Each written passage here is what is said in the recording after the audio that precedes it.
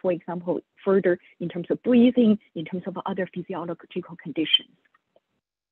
So as I mentioned, um, this is really uh, interdisciplinary areas. Uh, we see the research contributions from a number of technical community, from um, visual processing, computer vision, to biomedical engineering uh, researchers looking at what are the mechanisms uh, of the biomedical in, in terms of the physiology, um, and then uh, what are the underlying physical properties that we can utilize statistical signal processing help us to cope with these very small noisy signals.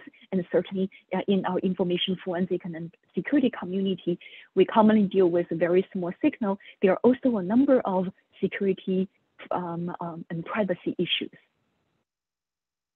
So here um, I used this uh, slide and we are going to uh, repeatedly showing you, but highlight a different part to look at a, a range of uh, research issues um, for example, there are the sensing mechanism. We, uh, as I mentioned, we are going to focus on this uh, cardiovascular measurement in, the, in terms of the heartbeat signal um, and using the um, camera or generally optical sensing uh, known as a PPG signal, which I'm going to talk about uh, more in a minute.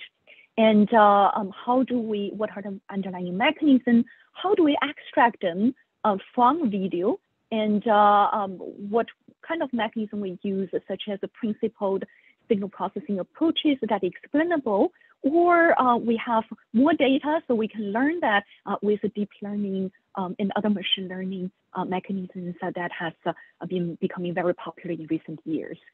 And from those heartbeat, uh, in, in, addition to heart rate, if we can analyze cycle by cycle, we can analyze the variabilities between the cycles and also, how does that optical means relate to the more uh, known in the medical field when we go to um, do um, a health check? Uh, we have this ECG, um, uh, electrocardiogram, and that is actually measuring the uh, the muscle contractions, those uh, action potentials uh, of our heart muscles functions.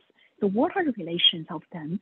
Can we infer from the PPG uh, to the ECG and why that could be important? And toward the end, we were going to talk about how do we infer some of the physio uh, conditions from Wi-Fi signal. And there are also roles of uh, what signal processing performs, uh, what visions uh, would take, and what are the various learning techniques. And we will talk about some of the shared mechanisms we see not only with physiological forensics, but actually could also apply to other forensics. In fact, some of our, our techniques was inspired by the work we work on other type of media forensics and then motivated us to apply to the physiological uh, problems and that bring us to this uh, uh, area in the first place. There are various considerations, uh, privacy issues, and uh, certainly I mentioned about the synergy with other forensics. Uh, and then in the second part, we are going to talk about some of the tiny applications, both for the um, health monitoring, particularly in the pandemics, uh, and related uh, to other forensic and security issues. So as I promised, um, I want to first explain to you this uh, term that you may often see in the physiological uh, literature, especially in this area called PPG. Um, so the PPG uh, is uh, um, a, short name uh, of a longer word. It's a compound word, photoplethysmogram. So photo basically means optical sensing. So this could be I mean, with video, but uh, um, more classically, uh, to measure the heart conditions, we have been um, using this uh, fingertip pulse oximeters uh, which would use the photodiode to measure um, some of these uh, um, light strings that could be periodically changing um, um during this mechanism. And the uh, means uh, measuring an instrument measuring volume changes. In this case, we are measuring the blood volume changes as the blood um, flow periodically uh, to the extremities, like the different parts of our body and the gram is basically visualized in. So that's the PPG. Um, so here is a, a cross section of our skin, um, and you can see that when we have a light penetrating uh, into our skin, there's a different layers of our skin. There's this uh, surface layers, and then there start to be layers with this uh, capillary of the blood vessels. Uh, there are those uh, with uh, more oxygen-rich artery vessels as well as those veins. And it's interesting that the biomedical literatures, researchers have studied what would be the effect when we shine lights and then measuring the uh, lights, especially at the um, our kind of fingertip, our skin is relatively thin, and then we can shine lights on one side and then measure what would be the light penetrated uh, uh, and in terms of the strength changes. So it turned out that uh, the, the light actually, um, uh, when we measure it, there's a, a, a, kind of stable part forming kind of DC or very, very slowly changing. Those are contributed by um, the, the tissues absorbing some of the light and the penetrating and the letting uh, some of them through. And then those, the, ven the vein, the venous blood, um, doesn't really pulsate uh, according to the, to the uh, blood rate uh, um, as much. And then the most of the fluctuating part coming from the artery blood. But there's also kind of a, a more stable part, and then the part that we would see uh, pulsatile component that uh, really periodically changing at the pace of our heartbeat. So when we um, um, measure what would be the, the, the, amount of light after penetrations, we can see that the part that being absorbed more, we will measure a less amount, and the part that being absorbed less, we will measure a higher amount. So you will see this periodical, what we know as the PPG waveform that has uh, both a steady part and uh, a, kind of changing part, or uh, in our signal processing terminology, we see a slowly changing DC and low frequency component, and then a periodical part uh, forming the AC. Uh, so when we measure the PPG, depending on the type of uh, sensing mechanisms, we are going to illustrate conceptually where the light source and where are the photodetectors. So a typical setup is using this uh, uh, pulse oximeters as in this picture. We have a light source on one side, and we have a photodetector on the other side. Um, so this is uh, the contact-based kind of transmission penetration model. Uh, using the, um, uh, the, the fitness watch or uh, or Fitbit type of a fitness uh, uh, wristlet, we are going to see the light is actually in the same side with the detector. So this is the contact-based reflection model. So both are contact-based. Now, uh, with the video, we are looking at a light source and then shining light there or from the ambient uh, lighting conditions. And then um, the, the light could be reflected from different layers um, and could also penetrate further and then reflect it back uh, using the photo sensors from our uh, camera. So this would be a contact reflection. So this would have uh, um, different implications in terms of whether the light source is under our control.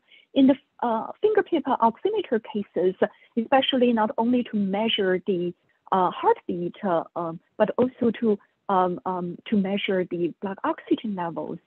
Um, scientists in the um, in biomedical field have found that using different wavelengths, for example, using the infrared as well as a red uh, um, uh, wavelengths using different uh, um, um, light sources, we will see different um, absorption properties. And then by analyzing the differences over different wavelengths, we will be able to derive black oxygen levels. Now, in this case, uh, in the um, contact reflection cases, uh, the device manufacturer can also have some control of the, the light sources. Uh, in the video situations, however, depending on the setup, like if we don't want the person to know we are doing and also uh, subject to the, um, the health and safety uh, issues, we will be seeing potentially much uncontrolled light sources. So that will be more challenging conditions. Okay, so uh, because of the optical nature of the sensing, uh, we are naturally really subject to various uh, physical uh, limitations.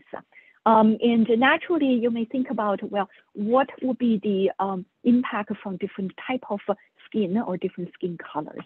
And indeed, uh, this is an area uh, where we have seen um, um different um, uh, effect uh, because fundamentally, the darker skins would absorb more of the light and reflect less.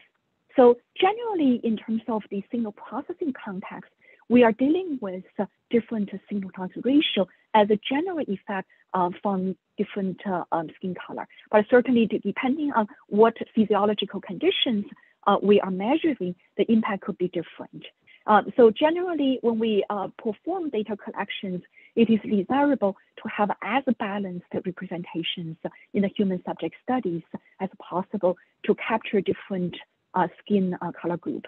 A typical characterizations is according to the um, uh, this uh, uh, Fitzpatrick skin phototype that assess the skin's reactions to the uh, exposure of sunlight. Um, so uh, as I briefly mentioned, uh, with the ECG that measures the electrical potential of the heart muscles, we have this typical signal waveforms known as the QRS complex, but there's also a, a P part that pre the contractions and the T part um, as the, the blood uh, is being released to different part of the body. Um, and in contrast, uh, with optical sensings, we are sensing the blood volume changes at the end part of our body or extremities. Um, and we see after the, the blood um, um, going through different part of body, um, it, instead of this uh, very sharp waveforms of the ECG, we observe a much smoother uh, waveforms in the PPG sensing. So we will uh, revisit this uh, uh in the second part uh, of the, the, talk, but I want to first kind of setting up the stage the, from different measuring modalities, we see different waveform shapes. So now I'm, I'm going to pass uh, the baton um, to Chau-Wai, and he's going to introduce the, um, the how we extract the PPG uh, from the uh, optical modalities and what are the different mechanisms. Chau-Wai. And, and actually, while we are transitioning, if there is any uh, quick questions and clarifying questions, please feel free to ask.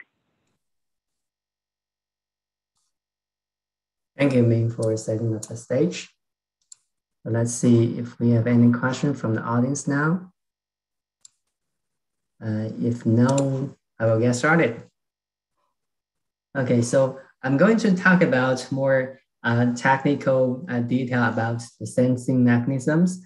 Uh, so we are go going to look at the RPPG remote PPG signal sensing, uh, either through the principal signal processing based approaches or more modern deep learning based approaches.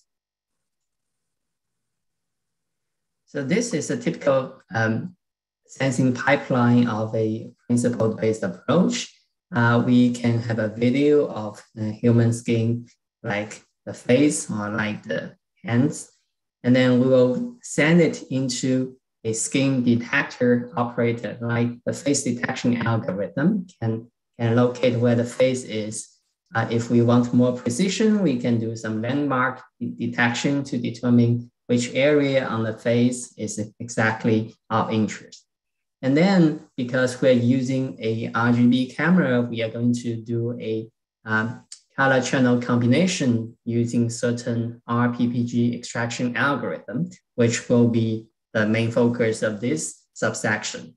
So once we combine the three time series of RGB signals into one time series, it will be kind of noisy as you see here, but you can already see there is certain periodicity inside it.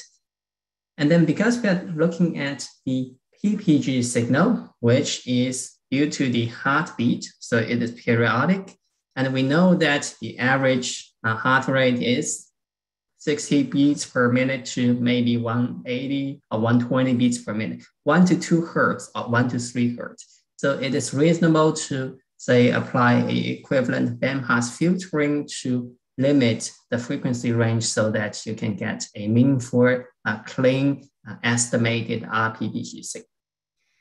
So I'm going to talk about three different approaches. Um, So uh, the first two uh, are um, basically approaches try to increase the signal to noise ratio of the RPPG while to reject other unwanted noise. Sometimes they may be stronger than the RPPG signal.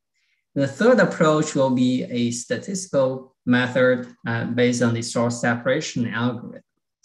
And then I will also talk about deep, deep learning based approaches, and we'll see that. Uh, so deep learning is actually also very good at extracting the, um, the RPPG signals that we want, and we will ma mainly look at the structures. Uh, so Min have already shown a picture of this. Uh, so this is a cross-sectional structure of a human skin. Uh, so we have uh, three layers, epidermis, dermis, and hypodermis. So you can see that the blood vessel is at the bottom layer, and then we have some uh, small capillaries. Uh, so these are the like the hairy-like vessels. So um, so these are actually the medium that contains the RPPG signals that we want. Uh, so suppose we have a light shining on the human skin, it is called IFT, uh, and it will actually have two outcomes. One is that um, uh, because maybe my skin is oily and then there will be a direct specular reflection component. Um, specular reflection component directly go back to the camera. So the incidence angle will equal to the reflection angle. So this is the one uh, easy one, but this will be the component that we do not want because it does not interact with the blood and to, to get us the information back to the camera. The second component is the light source uh, will transmit into uh, the tissue uh, of the human skin and then start to interact with the red blood cells in capillaries and the blood vessel. And eventually they will find their way to go out. Uh, so this is the diffuse reflection component. Or if you want, you can say it is a re-emitted uh, um, component. So once we have these two components, uh, also we also have other noise and the capture, and the camera sensor will capture uh, these reflection components. So it is reasonable to do a simplified um, signal processing based modeling uh, to, to eventually arrive at three components. The first is the pulse component that we're interested in. The second is the specular that I have talked about. And the third is an intensity that's overall bias. Um, so all these three components are time varying. So what we need is the, the this more periodic component, the pulse component, and we need to figure out a way to reject this specular component and the intensity component, keep in mind that they are time varying. So it is kind of non-trivial to deal with them. Uh, so on the left-hand side, we have the symbol uh, C sub n of t. Uh, so you can consider this if you let the t go from one, two, three, four, up to maybe 1,000 data points. So we can consider this C uh, sub n this as a three by 1000 matrix as I illustrated here. Uh, so the three comes from the RGB channel. So each channel will have a signal, a horizontal row, and we stack them together, and uh, then we will use it on the next slide. Uh, so now I'm going to introduce uh, the uh, two principled signal processing based algorithm, uh, which they share the similarity that they want to remove uh, both the spec specular component and the intensity component. Uh, so the nice part of those signal processing based approaches is that uh, they are mainly linear in operations as we, we can see later. So the only difference between the POS of the pulse algorithm the CHROM algorithm that is that one actually removes intensity first and then remove the specular.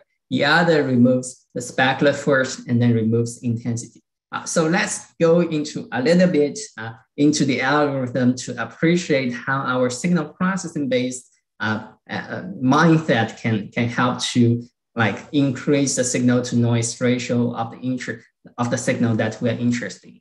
Uh, so let's first look at the POS, the pulse algorithm. And the full name is a plane orthogonal to the skin uh, algorithm. Uh, so first, it will actually remove the intensity component or the bias component or the DC component through an orthogonal projection. Uh, so the process is just a linear transform by a matrix, uh, P matrix. This is a projection matrix. This matrix is um, of two rows and three columns. Uh, if you still have a little bit memory about the CM matrix, so I said it is a three by 1000 if we assume that we have 1000 data points along the time. So eventually after multiplying our projection uh, onto this P matrix, you will get an, an S matrix, which is, which is of two by 1000. So basically you get, get two horizontal signal. Uh, one is power, uh, is a result of the first row and the second is result of the second row.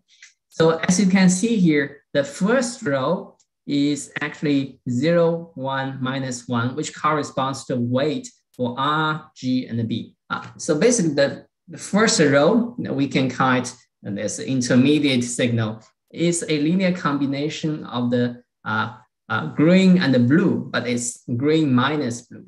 Similarly, the second row is actually uh, containing a linear combination of minus two parts of red and uh, one part of green and one part of blue.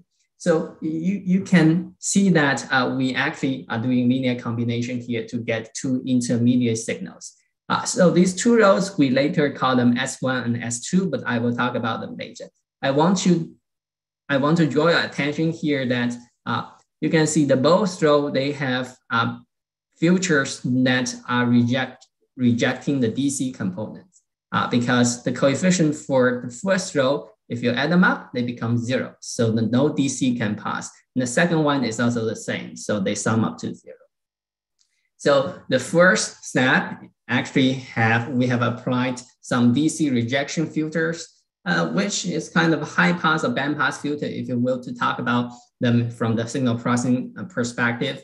Uh, but at the end of the day, it's just how we do linear combination of the R, G, and the B channels to get some intermediate channels. Uh, so once we get the intermediate channels S1 and S2, uh, so the final uh, output of the estimated uh, PPG signal or remote PPG signal, uh, P hat, is actually uh, just a simple linear combination of S1 and S2. Uh, so, but with the weight one and alpha. Uh, so this weight alpha is related to the ratio between the standard deviation of the first signal and the second signal. Uh, so uh, you can see that if you plug this alpha into um, the front of S2, you will see S2 of T will be actually divided by the sigma S2. So this is equivalent an operation that you standardize the variance of the second intermediate signal. Once you standardize that, you multiply the sigma S1 to that standardized signal. So you scale up the standard deviation of that signal, and this standard deviation will match the standard deviation of S1. Uh, so in this way, um, so these two signals are combined. But why they did that? Uh, so in the paper, you can find the details. Uh, so because the S1 and S2, these two intermediate channels, they have an antiphase uh, in the specular components. So if you sum them up in a correct way, so the phase component will actually, uh, sorry, the specular components will cancel out.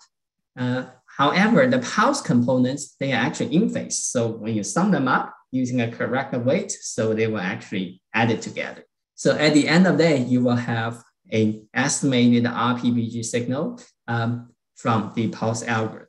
So this algorithm looks pretty simple, right? We have two steps. Each step uh, is can be considered as mainly a linear combination operation, except when we calculate alpha, we need to do some normalization. So then I will try to talk about the second one, which is a little bit more complicated than past algorithm. That is called uh, a CHROM-based algorithm, Crom algorithm, chrominance-based RPPG.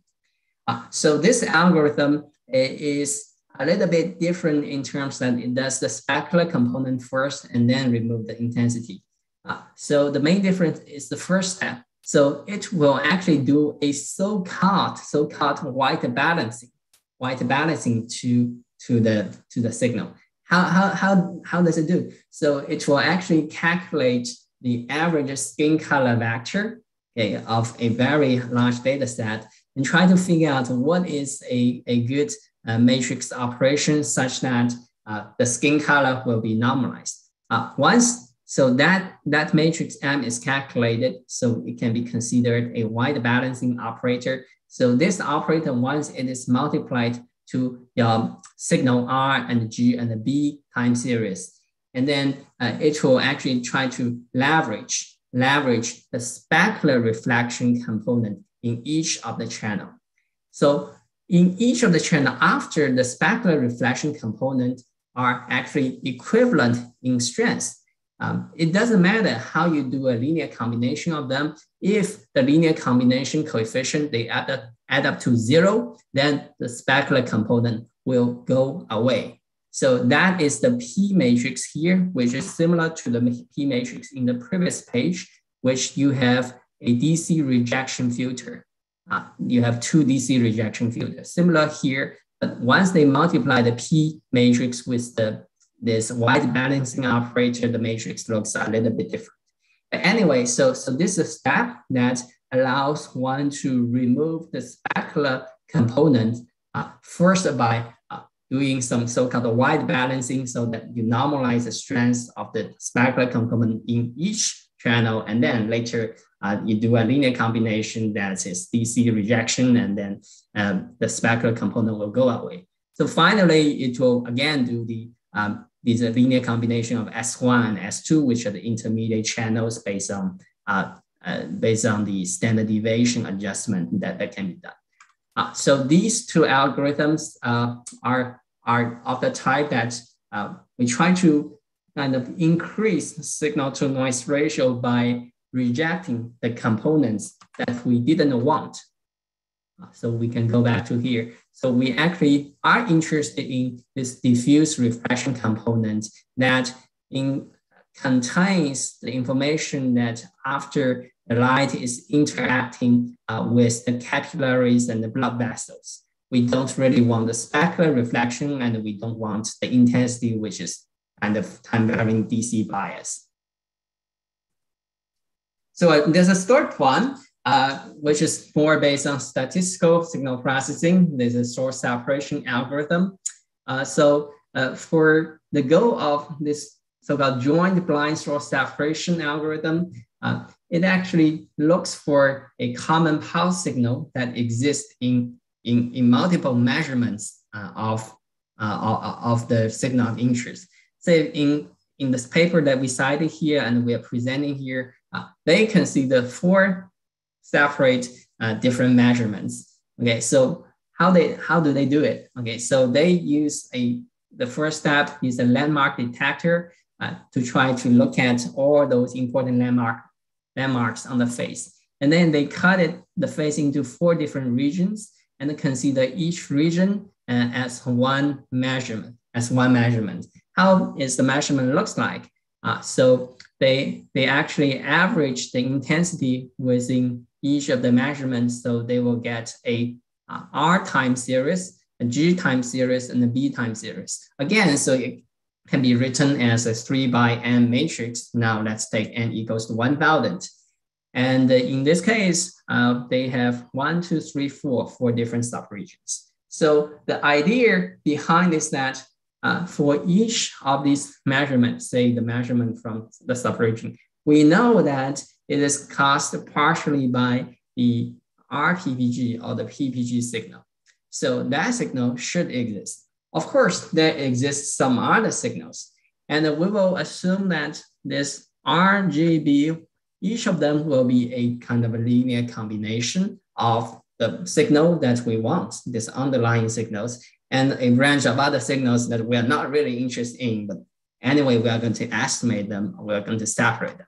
So let's look at how practically this RP, uh, the JBSS algorithm is working uh, for this heart rate um, uh, problem or for this RPPG problem. So this X super M is the uh, signals, the four measurements that we obtained. So this small m ranges from one to four. Okay, in our previous case, we have four different regions. And the xm is our measurement, which is three by 1000 matrix each. And uh, we have a mixing matrix that is going to mix some underlying signal S super M. So it has say L channels. And uh, so, so that's, so we said the L equals to 1000. Uh, sorry, sorry, the L, uh, say, let's use a good number, like L equals to five. So the SM is a matrix of five times 1000. So you have A, which is three times five, and the SM is five times 1000. So the multiplication gives you three times 1000. So that's the dimension of you know, one of the measurements, right? And we assume L equals to five. So we are assuming there are five underlying signals. And one of them must be the RPPG signal. So that, that is our assumption. So we have a source separation problem that we want to separate the true sources in X uh, into the S, S matrix. However, we also don't know the mixing matrix A. So this is actually a blind source separation problem. And because we have four different areas in the face. so this is a joint blind source separation problem jointly using the four different areas. Uh, so the bottom part, uh, we are showing this JBSS process. You can assume that we have four of these measurements. And then on the right-hand side, uh, these are the estimates uh, of the JBSS you can see that I have highlighted the first row uh, of the S super one and S super K. So this hat means that this is an estimated signal already um, returned by the algorithm. Uh, you can see that um, this first signal is, is very similar, except one is a kind of flipped version of another. So you can safely assume that there's a minus sign here, difference here. So how does this JBSS algorithm actually works? So, so the idea is also relatively simple. So if we assume that there is an underlying common signal among different measurements, x1, x2, and up to x4, then uh, we are going to say that if we get some intermediate estimated, estimated results, right? So we want to make sure that across different measurements, the correlations are relatively high, right? And then, so if we get high correlation, and then usually are going to be very similar. And there's another assumption uh, originally come from coming from the source separation algorithm that uh, each of the component with each measurement, like the three components in S hat one, so they should be statistically independent. Uh, so once you have a cost function like this, and then the, the, algorithm can return certain results to you. Okay, so the JBSS has been very popular in uh, biomedical signal processing. Um, it, it is powerful in certain applications, but, but sometimes it's hit or miss, and the, it, there's certain cavities behind it. Uh, okay, so uh, we have already talked about three principled approach uh, from the signal processing perspective.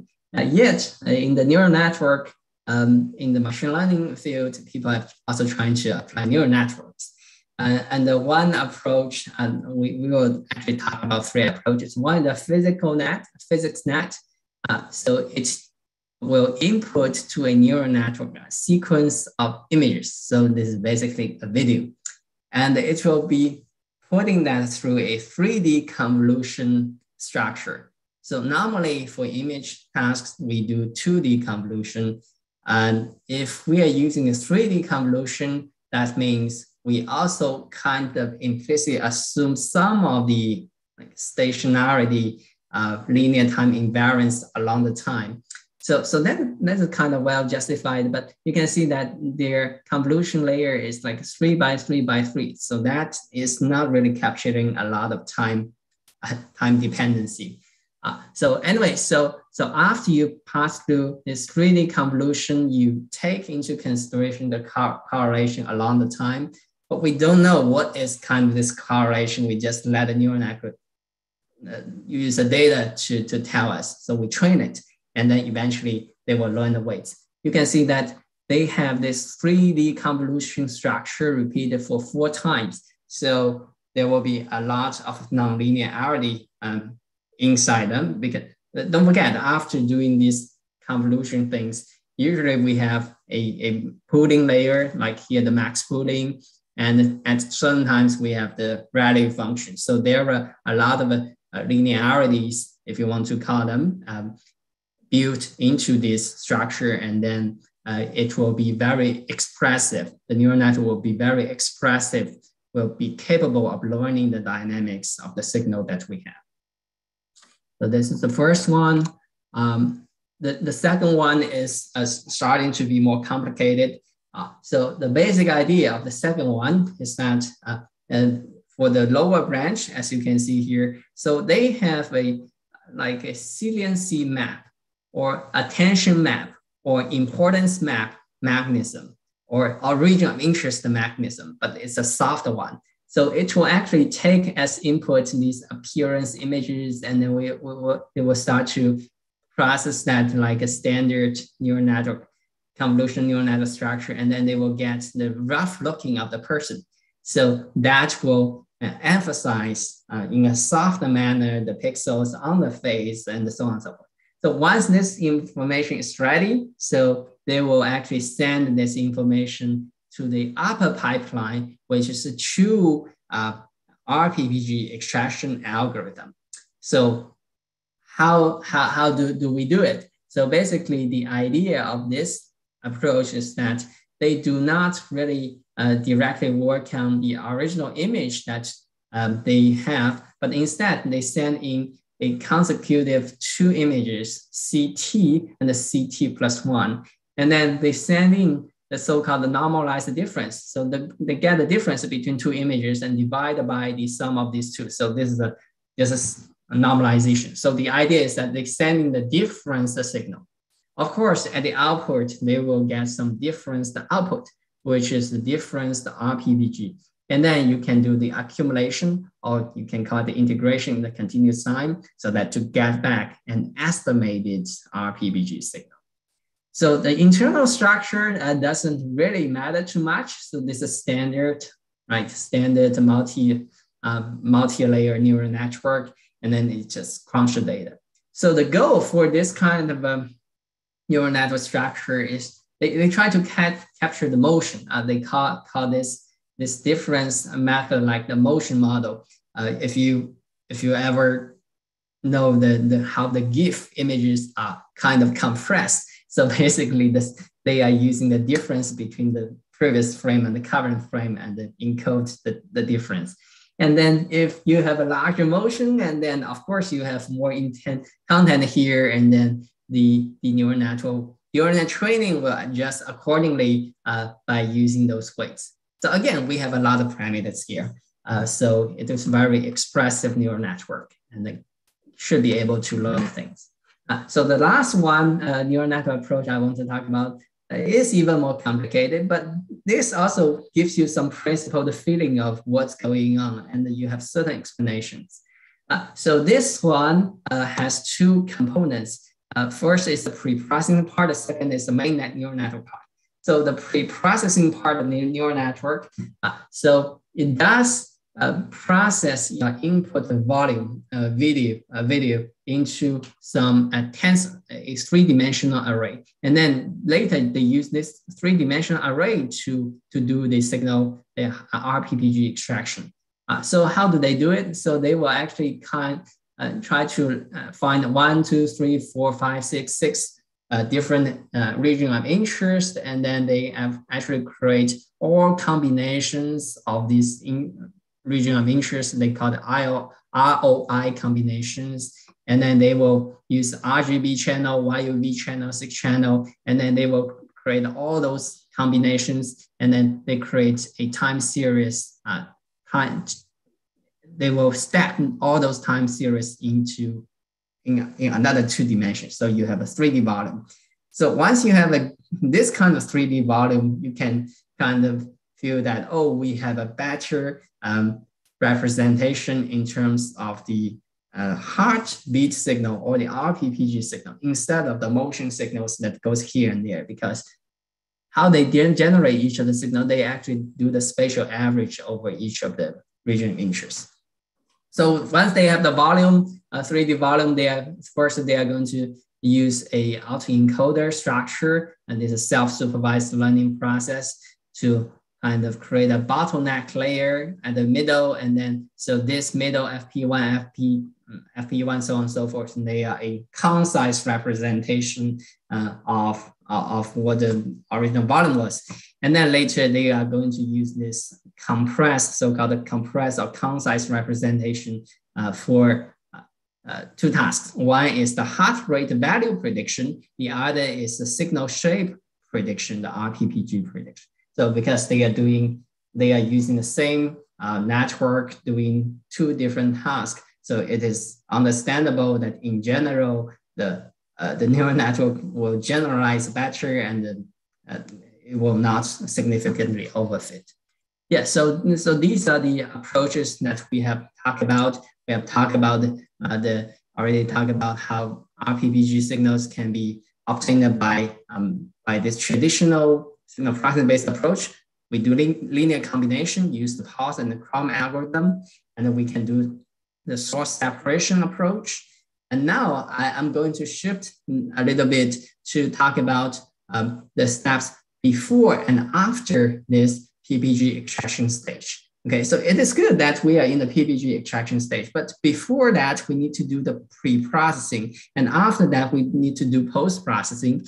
And in often cases, we have to like encounter the scenario that we, we need to increase the signal to noise ratio and um, it is very common in the forensics community that we are dealing with these low SNR scenarios. So once we can do a good job in terms of increasing the SNR at each of the stage, so it will ultimately benefit some of the downstream tasks, such as if we want to do heart rate estimation, we will get better heart rate estimates. Okay, so Min have already talked about motivated about micro signal. So I just want to uh, add that micro signal is not something that we are not familiar with, but uh, in the context of forensics community, because we are dealing with this kind of signal every day, so the magnitude is usually more than one order magnitude, magnitude smaller. So we do probably, it's easier to have a name for it so that this notion will, will keep us moving to, to focus on the smaller signal that are of interest.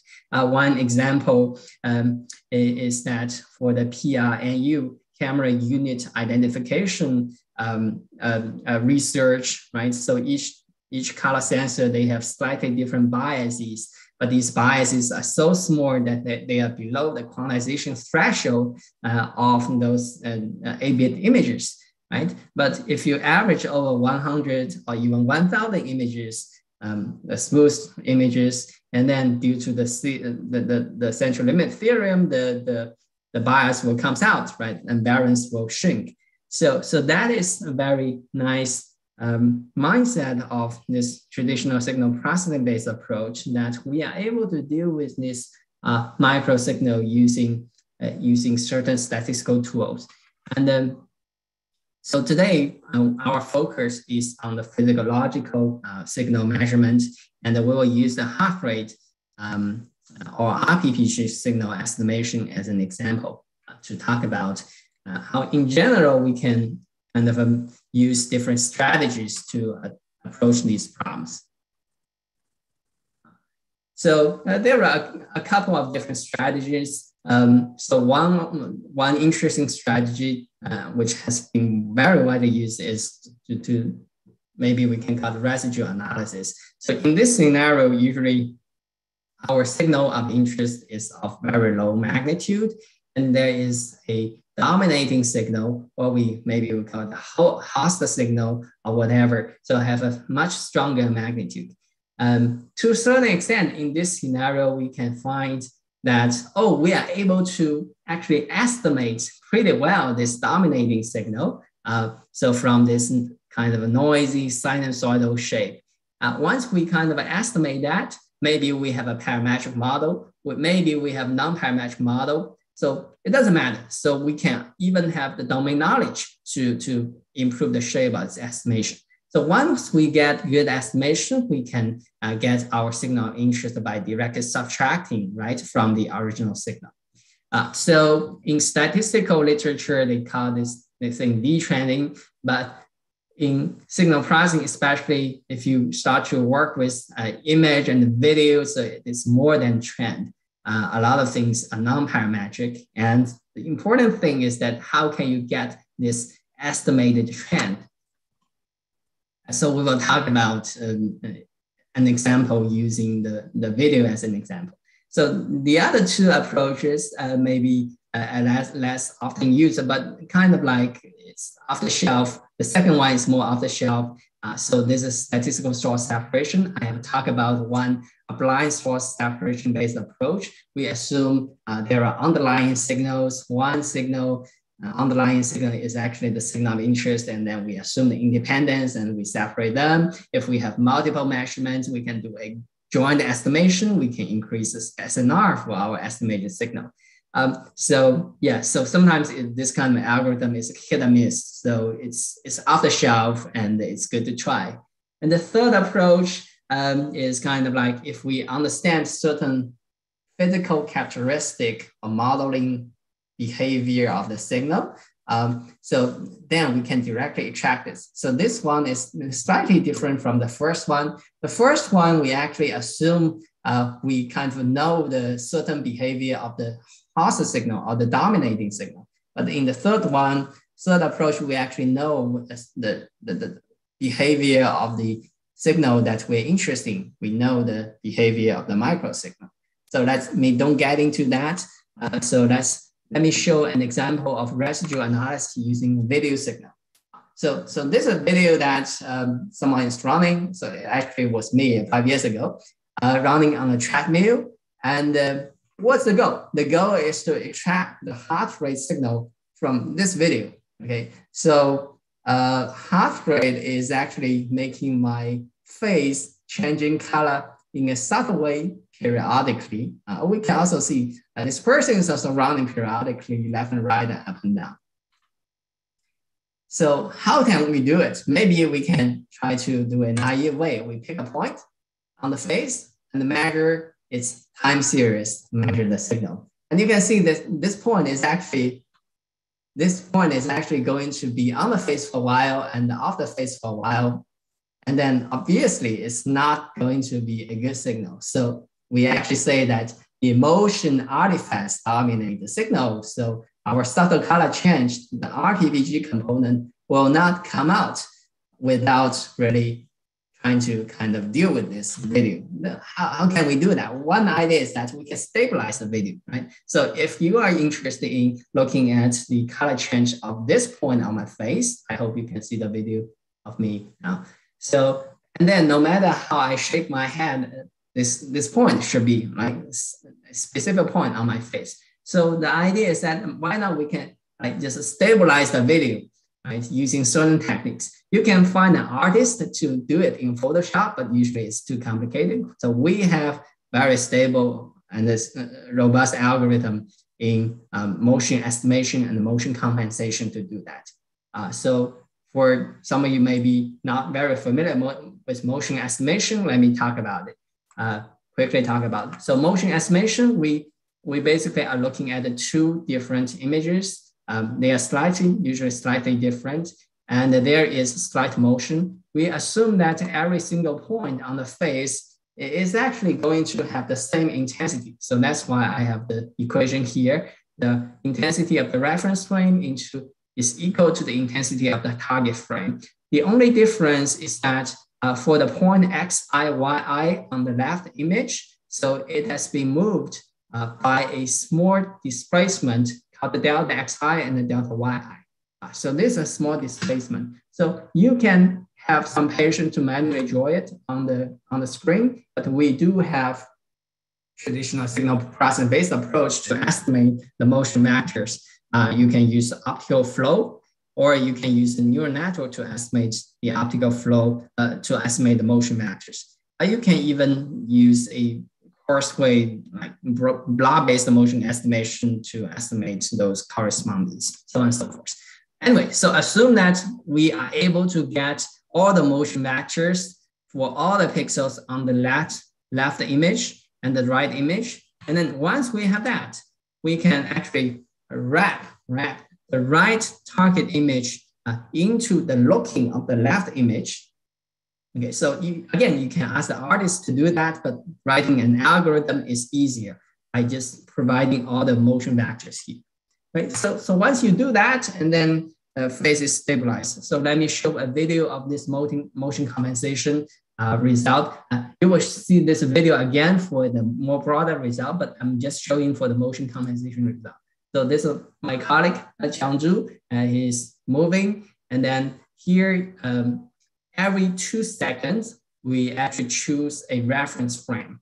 And we want to stabilize the remaining frames uh, to the reference frame. So we have 20, uh, we have 30 frames per second. We are going to stabilize 59 frames per two minutes. So you can see that once the guide, the head is fixed, you can uh, extract certain pixel intensity and then it it will give you a very stable measurement. Hopefully they are periodic.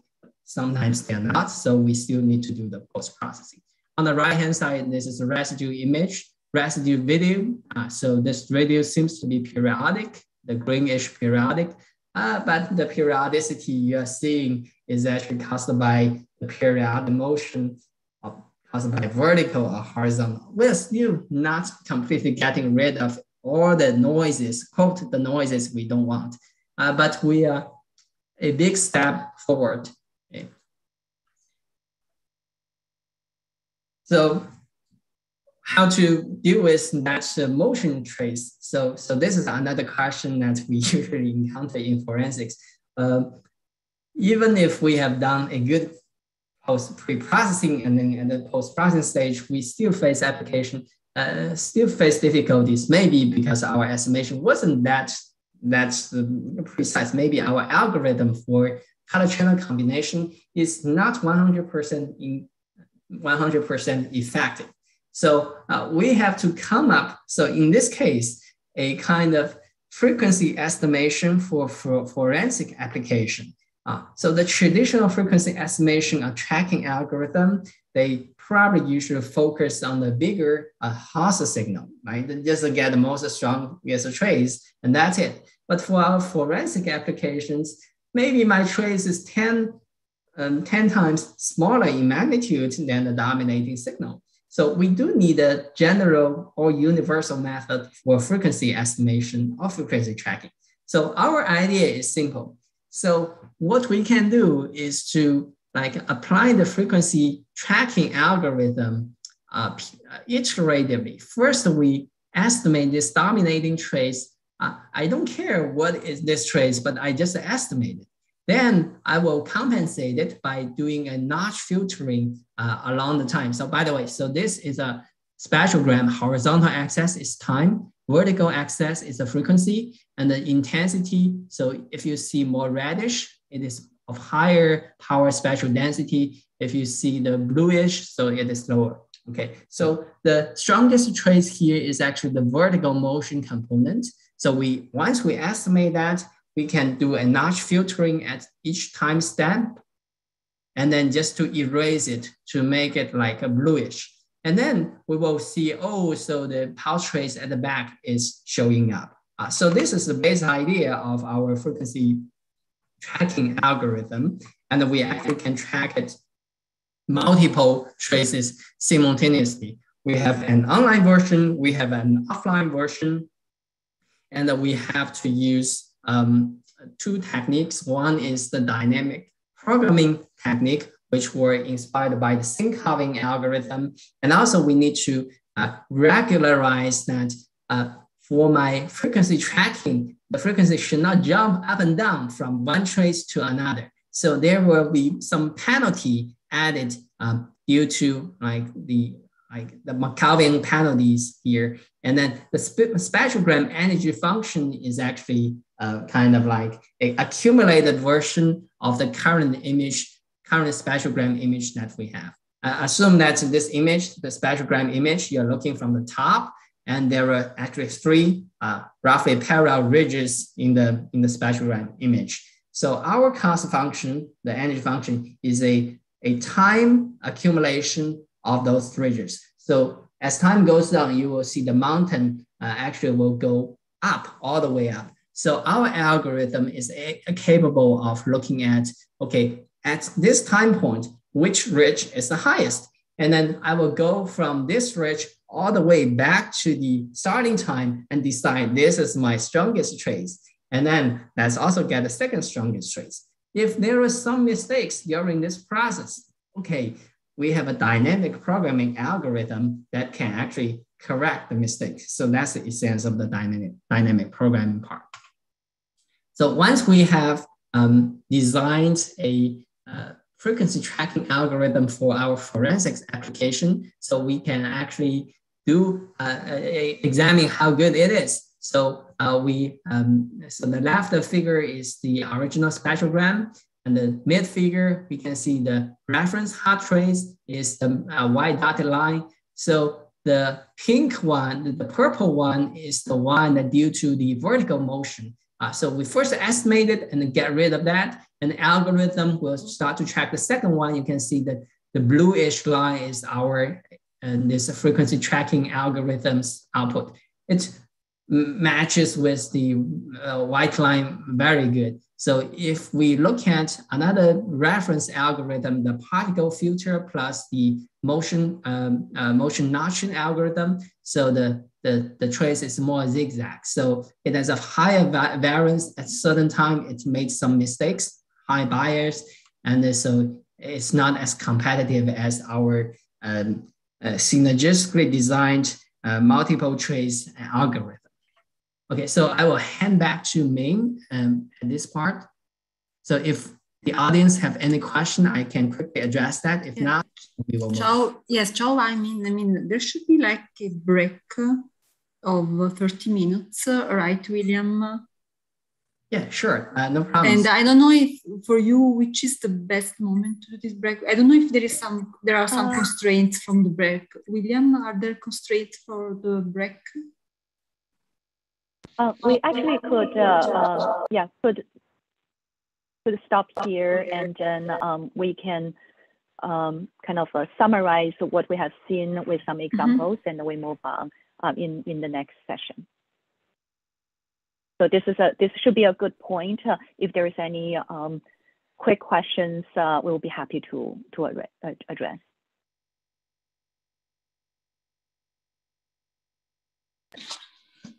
And we are certainly would uh, also have time uh, in the next uh, session um, to answer questions. So probably William, is it fine? Okay. So we stop now and then uh, we will, okay. So in uh, we will start again at 4.10, right? Yes. Okay, so yes. okay, sure. Okay, okay. Sure. So see you in 30 it's, uh, minutes. 10, 10 um, in our time. Okay. Okay. You, thank, thank you. you. Thank you, see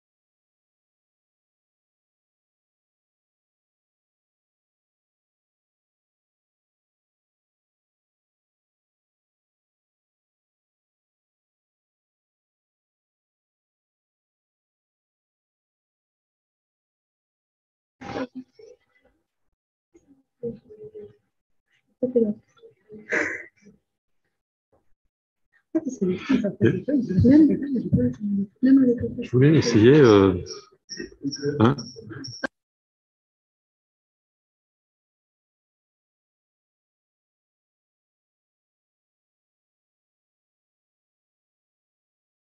Oh. Ah, ok. Ça, ça marche, mais ça marche pas sur le. Ça marche pas sur le hibou. Ça marche, c'est celui-là qui marche. Quoi?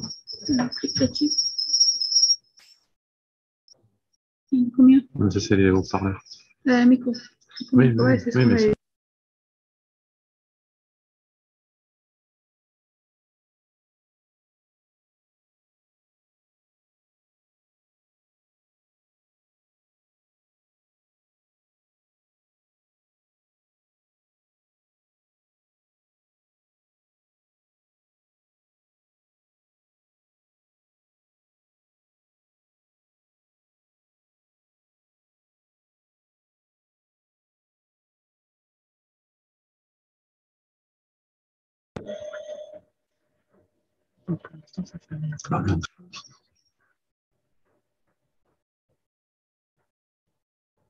Et donc, je vais laisser. Ah, il faudra laisser ensuite. Après, À la fin, je viens quand même on projeter. coupe le. Oui, oui, c'est pas bon pour lui parce que tu vois. C'est bizarre.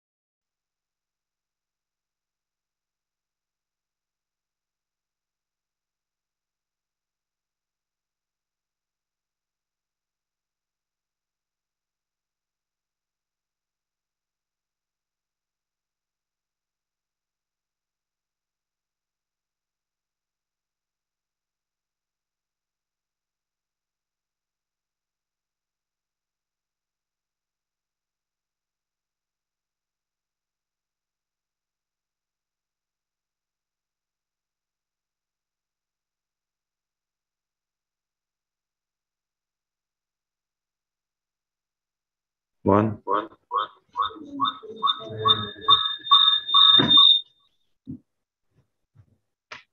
Ok.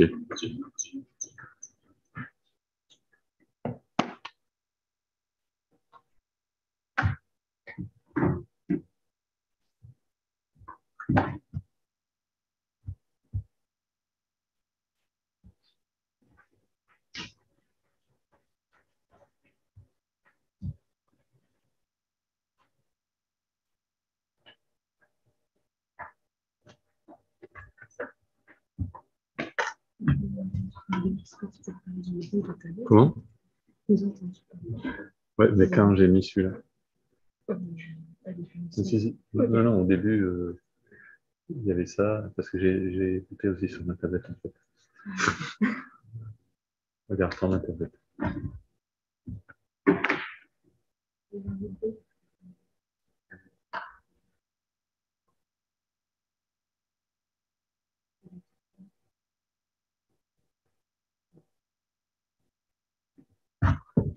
test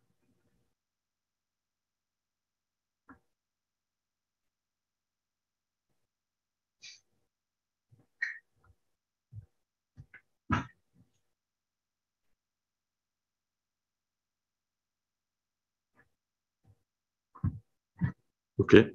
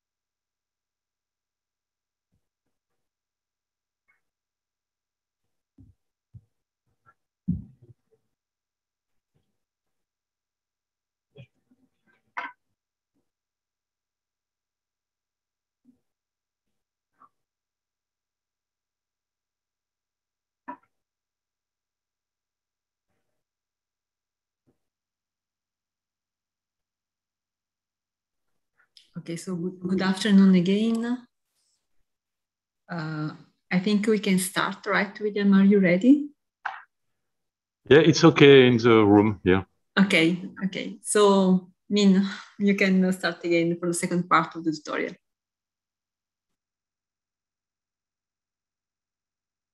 Sure. Um, so for the, um, uh, we'll come back to our tutorial.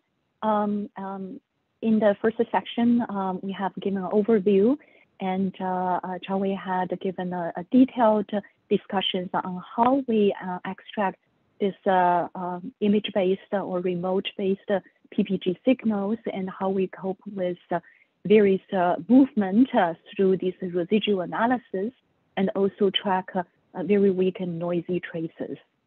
if we put together what we have seen this as building blocks, um, we would be able to not only looking at this resting case, but as you have seen, um, um, as people move around, which could be in um, some of these uh, um, athletic uh, training cases, as well as, uh, for example, in uh, uh, driving safeties and uh, in surveillance situations where the suspect is moving around.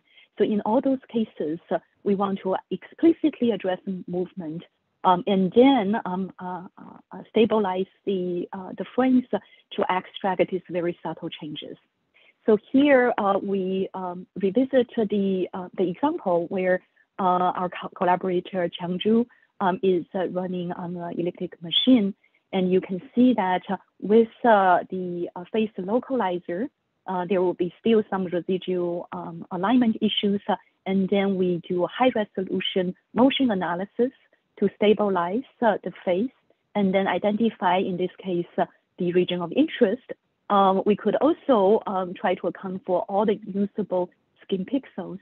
Um, and then to combine those uh, colors from the usable um, skin pixels or region of interest and do the frequency analysis. And you can see here, after cleaning up, this is the spectrogram, the frequency over time. And this is what we um, have the summarize the overall results. The, um, uh, the black line is coming from a reference uh, where Qiang is actually also wearing uh, a chest belt um, that is considered as a gold standard uh, for measuring heart rate. Uh, it's a form of one lead ECG signals in sports and fitness. The red ones was based only on the video after all this pipeline of analysis. And you can see mostly we're well within 1% of deviation from this reference. In comparison from the wearable signals, it's quite common to get 3 to 5% of the differences. Not only the um, the motion sensor itself um, can handle some, but it by itself is quite noisy. And also the loose fitting uh, could introduce those artifacts. So that actually showing that it's potentially uh, the uh, imaging-based modalities using this uh, contact-free sensing could be competitive um, to other modalities. And here we um, summarize the overall pipelines uh, where we start with the video sequence. Uh, we located the face uh, and identify the facial region of interest.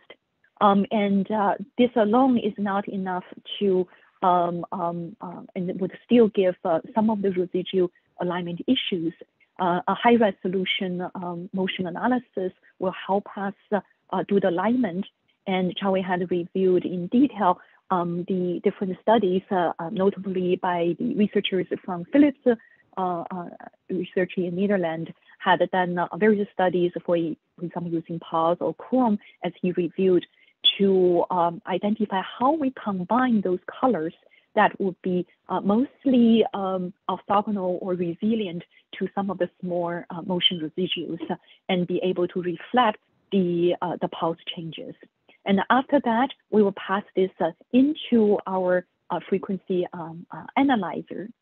And the, using this general methodology, so we can cope with different type of motions, actually running a treadmill and elliptic curve uh, uh, machines um, is relatively um, a moderate amount of motion. Certainly, it's, it's more than uh, the resting case.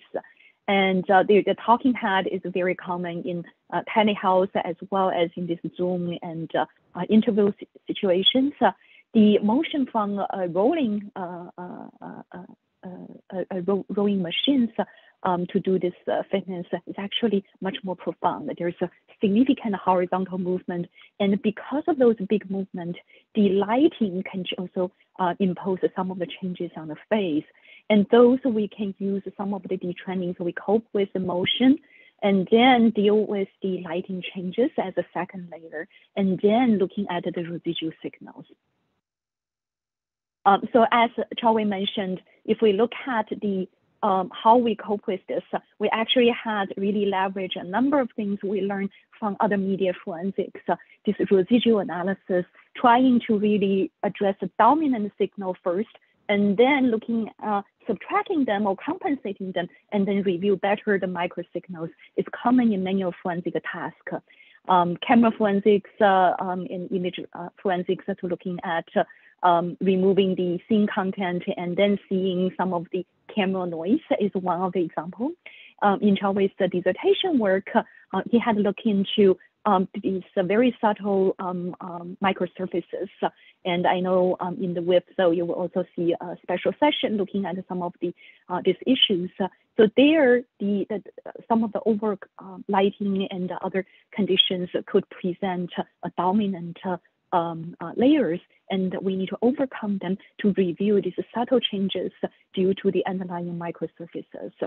Certainly in the um, um, the uh, electrical power signature work, uh, when um, they impose some of the small uh, microsignals onto the uh, audio or video, we also find um, the residual analysis help us cope with movement, cope with different imaging effect. Um, so here, coping with the dominant uh, movement, as you can see, um, this uh, uh, this framework that uh, Chau-Wai already presented.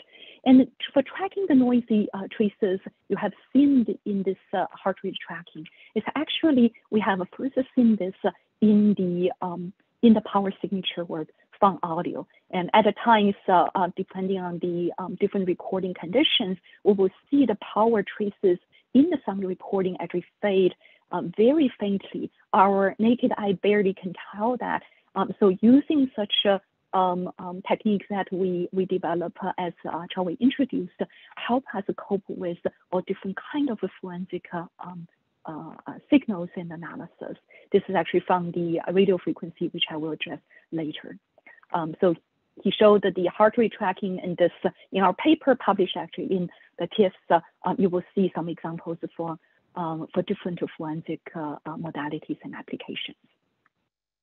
So when we revisit our um, research issue roadmaps, uh, we have addressed the various sensing, the roles of techniques, um, and the synergy issues. So in this part, uh, in this second part of the tutorial, we will talk about applications. I will pass the baton first to um, Chau-Wai to talk about uh, these very tiny issues of blood oxygen um, um, monitoring without contact and also considering uh, uh, respecting the privacy by looking at uh, a video monitoring of the hand uh, to track the blood oxygen. And then we will address deep fake and privacy issues. Thank you, Min.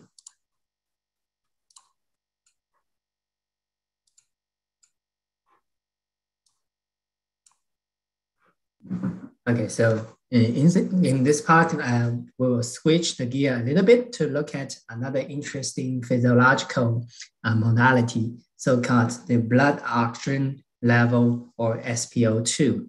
So we will look at how we can estimate it from uh, the remote modality, the video modality. So this SpO2 has gaining increasing popularities, attentions because it can be used for help diagnose COVID-19 uh, we'll present some robust SpO2 estimation algorithm that we recently have been working on uh, to pave the way for its potential use in, in forensics. Uh, so let's talk about what is SpO2. SpO2 is, uh, is an important indicator of lung function. Uh, so it, it is a ratio between zero and one. Uh, so what it is about? It is about the saturation of the, of the blood oxygen. Uh, so here we have term, some terminologies called hemoglobin and uh, oxygenated hemoglobin and deoxygenated hemoglobin. So, so these are the proteins that's in the red blood cell that can carry the oxygen. So if the blood cell is carrying the oxygen, then it is called oxygenated hemoglobin or uh, SpO2 or loosely HbO2. And then if it does not carry the, um, the oxygen, and then it is written as the uh, HB.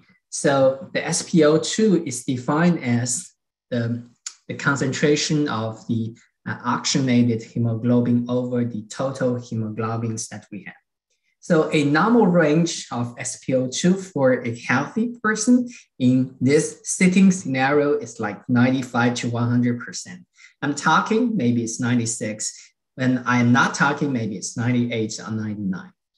And uh, so if I exercise in real time, it could be something around like um, above 90. So if the SpO2 is below 80%, and then that, that is usually re related to certain long-term lung disease. And then recently, not really recently, one year ago, when the COVID-19 started, and uh, there were clinical findings seeing that patients can have at as low as 50%, 50% SpO2, while they are not looking so bad. They are still, still playing their phone in the hospital. So, so that's an important indicator for the um, like COVID-19 because COVID-19 have a special mechanism that prevent the um, uh, uh, does not prevent the carbon dioxide to be released, but prevent oxygen to be um, intake into the lung. So there are different ways to measure SpO2. One is to use a very invasive approach, the arterial blood gas. Gas you use uh, you, you need to perform, perform this operation uh, um, with the help of trained medical personnel. Another way is relatively easier. You just use a pulse oximeter uh, to there's a plugin on your finger, and then you can see the SpO2. Uh, so uh, in the red, the next presentation, we will talk about um, first the, the working principle of this uh, contact-based pulse oximeter, and then we will look at how we have modified it to using RGB cameras to capture or estimate this SpO2. Uh, with contactless or contact-free, we have unleashed a lot of opportunity for forensic application. So let's look at what is um, the working principle for the, um, the ox oximeter. So here, the left figure, you can see, uh, so we have a finger inserting into an oximeter. And then we have uh, two LED lights. One is shining red light, the other is shining blue light. Uh, so at the bottom, so we have um, a sensor that captures the light that has transmitted through, through your tissue. Uh, so you can observe the distance of the transmission is actually almost the same.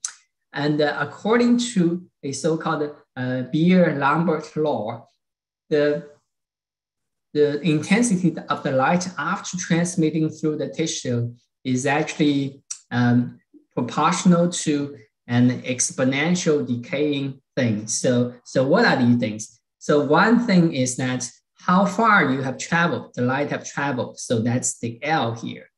The second factor is what is the concentration uh, of the, the material in your blood. Basically, it is the oxygenated hemoglobin. And then the third term is the absorption coefficient. Um, so the absorption coefficient is the amount of the, the, the, percentage, right? The, the, it can be, um, the, the material can absorb, uh, absorb. So it can, we can measure, so one can measure the absorption coefficient for uh, the, the oxygenated hemoglobin and also the oxygenated hemoglobin. So on the right figure, you can see, uh, so we are looking at the absorption coefficient for uh, HB and HbO2 as a function of wavelengths. So it is interesting to observe that uh, for the black, for the red and the blue region, for the red and the blue region, you can see that there will be difference in absorption coefficient. So that implies that once you have a, a different wavelength, right, passing through your, your skin, uh, passing through your tissue, the output uh, of the intensity will be, will be different. So the idea of the pulse oximeter is to use this different output under different wavelengths to estimate your, uh, uh, your concentration of the blood, uh, the concentration of the oxygen in your blood. So through some of the derivations, we can show that with certain approximation, we can show that uh, the SPO2 level, this percentage, is actually uh, proportional, is a linear function of some ratio of ratio.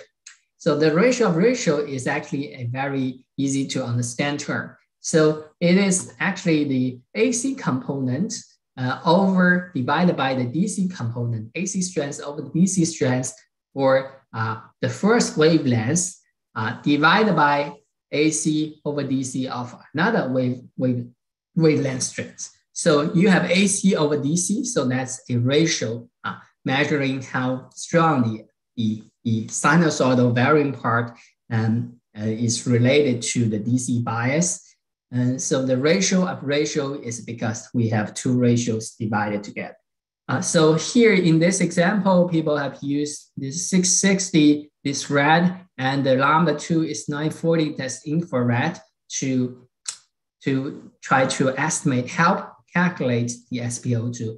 But practically, so if we want to do an SPO2 estimation using RGB camera, and then we better to find another wavelength that we actually have in our camera. So the infrared is not going to be used. So we search the figure and we see that there's a lot discrepancy between these two different materials in our blood uh, at this blue, blue region. So maybe we can use the red and blue camera channels to, to replace right, the, the sensor, the, this LED light here.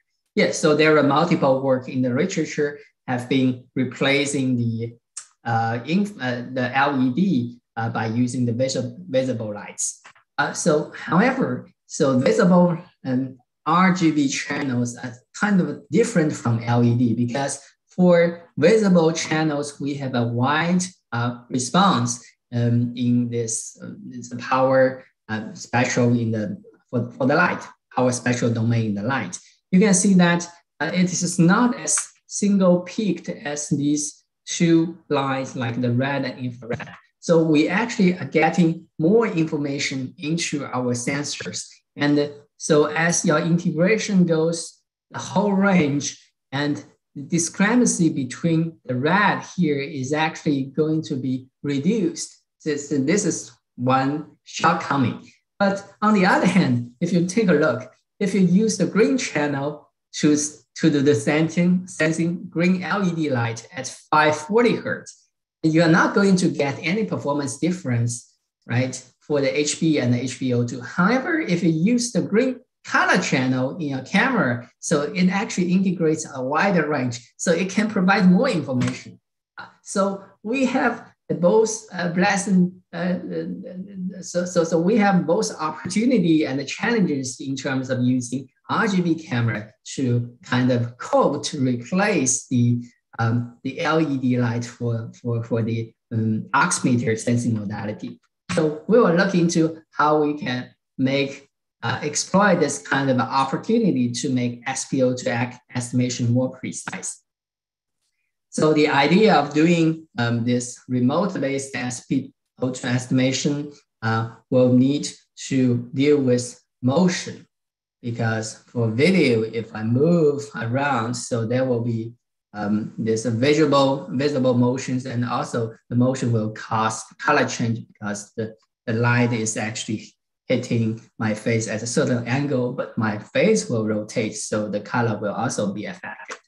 Uh, so um, we, we wanted to try a more uh, controlled scenario. So uh, why not let's start with hands. So we don't have constraints in terms of privacy. We don't, uh, we can put the hand pretty still and then we can look at uh, to a certain extent how much we can push the boundary to improve the SPO2 estimation by using the, the remote camera, the contact-based modality. And then later we can uh, transfer it to the facial scenario, but we need to take, take care of the privacy issue. And the Min will talk about how we can protect the privacy of the person by doing some of the transformation of the face later in this. Uh, so the traditional approach um, using ratio of ratio method, as I mentioned before, they just use uh, just two color channels uh, or two frequency bands, lambda one and lambda two. So they just get one ratio and SPO2 is a function of one feature, ROR, or one predictor um, if you use a statistical language. But what we are proposing is to uh, add five different more features. So we had this ROR, comma uh, RB, so the red and blue channel. But we also add the ratio of ratio between red and green channel, the green and the blue channel, and also we add the ratios themselves, R of red, R of green, R of B. So why do we do that? Because we said uh, this uh, RGB camera has a wider response. So it is actually capturing more information in a integrated way. So there will be integration. So things are mixed together. And we have more information, but they are summarized in a way that not the, not the best for us to, to demix. But why not? Let's just put them as features or predictors for linear regression. Let's see how, how it goes. And also another thing is that uh, if we have um, like motion, if we have motion, we have a shake of the hands, we need to remove those motions. So we, we do need to uh, apply a certain bandpass filter but not all kinds of bandpass filter. We need the bandpass filter to be very precise in terms of the frequency that we are looking at. So that's how the previous uh, multiple uh, trace um, frequency tracking algorithm plays a role here. So this is an, uh, a result, a preliminary results that we obtained. Um, so, so the blue, uh, so the horizontal axis is time, vertical axis is SPO2 level, uh, so the black curve is the predicted one, the blue, uh, sorry, the red dashed one is the reference uh, obtained by the uh, uh, um, obtained by oximeter. So we can see that for a good, medium, and the worst case, we are kind of getting the overall trend of the up and downs of the SPO2. Uh, by the way, during the experiment, we asked the subjects to hold their breath, and then for repeated uh, three cycles. So you can see when they are holding breath, so the SPO2 can drop uh, up to 90 and then it will come back up and then drop again, so on and so forth. Okay. So we have used the Pearson correlation and the mean absolute error, these two metrics to measure the uh, performance. Uh, the Pearson correlation captures the overall trend reasonably well, uh, but it does, it's not sensitive to the shift, right? The bias. Mean absolute error is good at looking at the overall difference, but if the shape is off and then it's not very sensitive, the example is that I can use a, a naive predictor always outputting 96% and my my overall mean absolute error will be plus or minus like like 4%. So both metrics needs to be used simultaneously to measure the performance of this SPO2 predictor. So we actually are doing quite well compared to other uh, methods. And we have looking because this is a kind of a, like um, principled approach. We designed the whole signal processing system. So we actually were able to analyze which components in the system are actually contributing to the performance. So we can see that, uh, so if we use the RGB features instead of just using one of the features, uh, we use six features instead of one. So the performance will have the most significant improvement from point, uh, 22% to 68% in our proposed method.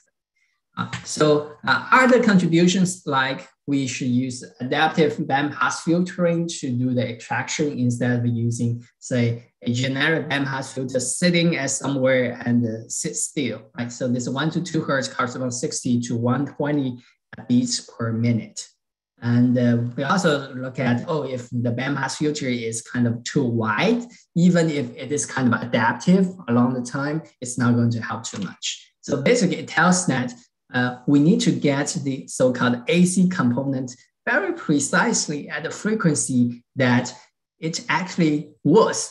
Uh, we, we should not get a lot of kind of neighboring AC components that caused by the frequency leakage, and then that will ru ruin the SNR of our problem. And uh, yeah, of course, by using the, um, the adaptive multi-trace tracking algorithm, we can also get a certain 10% improvement. So we have also looked at the, the contribution of the skin color, but due to the limitation of time, so I will not pre present the details. Um, so we actually have um, captured the data at the different color, skin color type, and then we look at for the lighter and the darker skin color group, uh, what will be the effect of them if I my, my, my hand is facing up to, towards the camera or facing down right? So the backside is facing towards the camera. So overall, we, we see that um, there are not so significant performance in terms of the face color, the, the skin color. So this is different from the heart rate or RPPG estimation. In that case, we are looking at the absolute intensity that's reflected by the uh, by the skin. So, so there is an SNR issue related to the skin color. However, in this SP2 estimation, so this is different. So we are not looking at the absolute intensity, but we are looking at the ratio of the two different color bands or multiple color bands. So it is, we are looking at the differential. So this differential is less affected by the native skin color of a person. Uh, so I'm happy to talk more about it if you have further questions. So we tried signal processing based approach principled, but then we asked, oh, can we also use a neural network to do similar thing? But of course, we're not going to grab a ResNet and then just train it and then let's see what's going on. So that is not our style. So we want explainable, not as the neural network community, machine learning community, they like explainable. So we try to see, oh, maybe we can be inspired by our principled approaches in the literature and see how we can design neural networks. So yeah, so here comes the idea. So if we are inspired by the heart rate estimate, estimation approach, basically we need to do what? We need to do the color channel combinations first, like the POS and the CHROM algorithm has been doing. They combined RGB into uh, one RPPG signal. So the combination is most linear, but overall it's nonlinear. And, uh, and then we can also try this ratio of ratio methods, which actually, um, I didn't talk about the details, but they actually do the uh, channel mixing later, but they do the feature extraction first. So motivated by these two different models, we created two model structures, model one and model two. You can see here uh, from the left left to right. So we have, we have the input layer, a mid layer, and the output layer. So for the model one, you can see that uh, the color channel along this horizontal-ish axis. So we are trying to um, first amplify three color channel into many color channels, and then we gradually uh, combine them, combine them, com combine them. So uh, each step is a nonlinear process. So overall, it's a nonlinear chan color channel combination. once we combine enough uh, so that it's ending here, the orange-ish, so we start to do the spatial, uh, sorry, we, we try to extract this, the temporal frequent, the temporal uh, feature along the time. So the vertical axis is time. So you can see we reduce it by half, reduce it by half, and so on so forth. So finally we get one point, which is the SpO2 value that we are doing a regression on. So this model one inspired by heart rate, but model two, we first do this uh, temporal feature extraction. Um, so the blue ones, they are getting half and half each time. And then we do uh, a lot of channel color channels and we, we, we do a nonlinear combination. So both model one and model two are kind of motivated by the principled approach. Then we ask, can we just mix those two ideas together? We do the feature uh, extraction and the channel combination simultaneously. So that came the third model. Okay, so we, we ran our algorithm and pretty, uh, pretty nicely, we, we get some interesting results. Uh, so, so here we can see that um, I have uh, the figures, horizontal is time, vertical is the SpO2 level. So we have the training data uh, for the last two cycles here. And we have the validation data, which is used to select which neural net um, model we are going to use for testing. So the left part, the left panel is basically overall is a training process. The right part is the testing result uh, we are testing on a signal that we have not seen before. So in this case, this is a participant specific testing, which means that uh, so uh, the test signal is actually coming from the same person, but measured at a different session. So we can see overall the SpO2 trend has been tracked reasonably well, uh, but there is more zigzag up and down here um, that of course needs improvement. And we compared with the results in the literature uh, by Scully et al. and Ding et al. Uh, we measure in correlation, we almost get more than 40% correlation of the, in the literature, they get less than 20% or less than 40%. If we measure the mean absolute error, uh, we try to rule out those naive predictors that always output a 97 SpO2 uh, prediction. So we can see actually Scully et al. Uh, is actually kind of a naive predictor. It doesn't perform too well. And the Ding et al., you can see the MAE is also, mean absolute error is also very large. So it means that the variance of the predictor uh, in the, and by Ding et al. is, is not that good. Okay, so I will uh, hand it back to Min to talk about uh, how we can use the physiological um, signal to detect deepfake videos.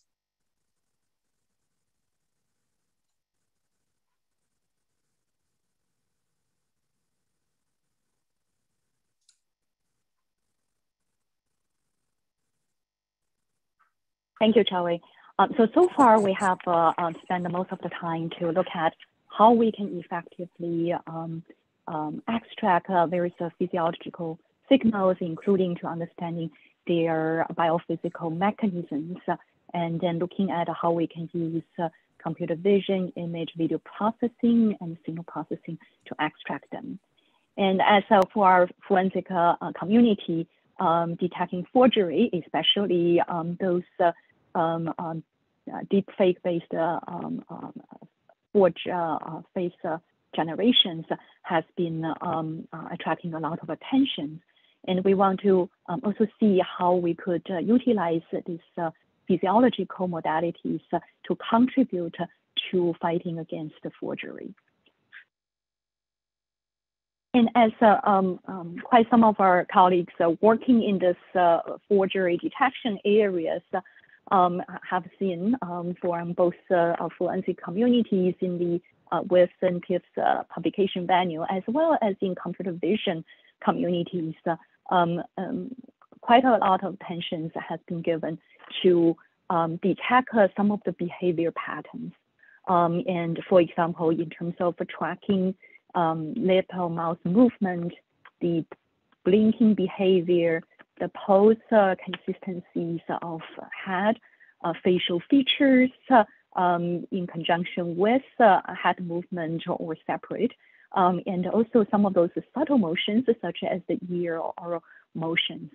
And um, in those situations, we often will have a conjecture on um, what kind of uh, uh, movement or behavior patterns will be considered uh, as naturally occurring and whether they are present in the video. And the underlying assumption is if uh, the forger um, to create this uh, uh, deep fake video may not be aware of those natural behavior, we may be able to see some of the anomaly. Um, so you can see many of this identify certain behavior traits, uh, use various, uh, for example, image video analysis, uh, both spatially and temporally um, to extract them, and then use various learning mechanisms, both in terms of the, the more classic uh, um, uh, uh, classifiers or use abundant data to train uh, for the classes of the genuine video versus uh, forged video. So naturally, when um, we have seen this uh, uh physiological uh, signal extractions from video, uh, we will see how this could work.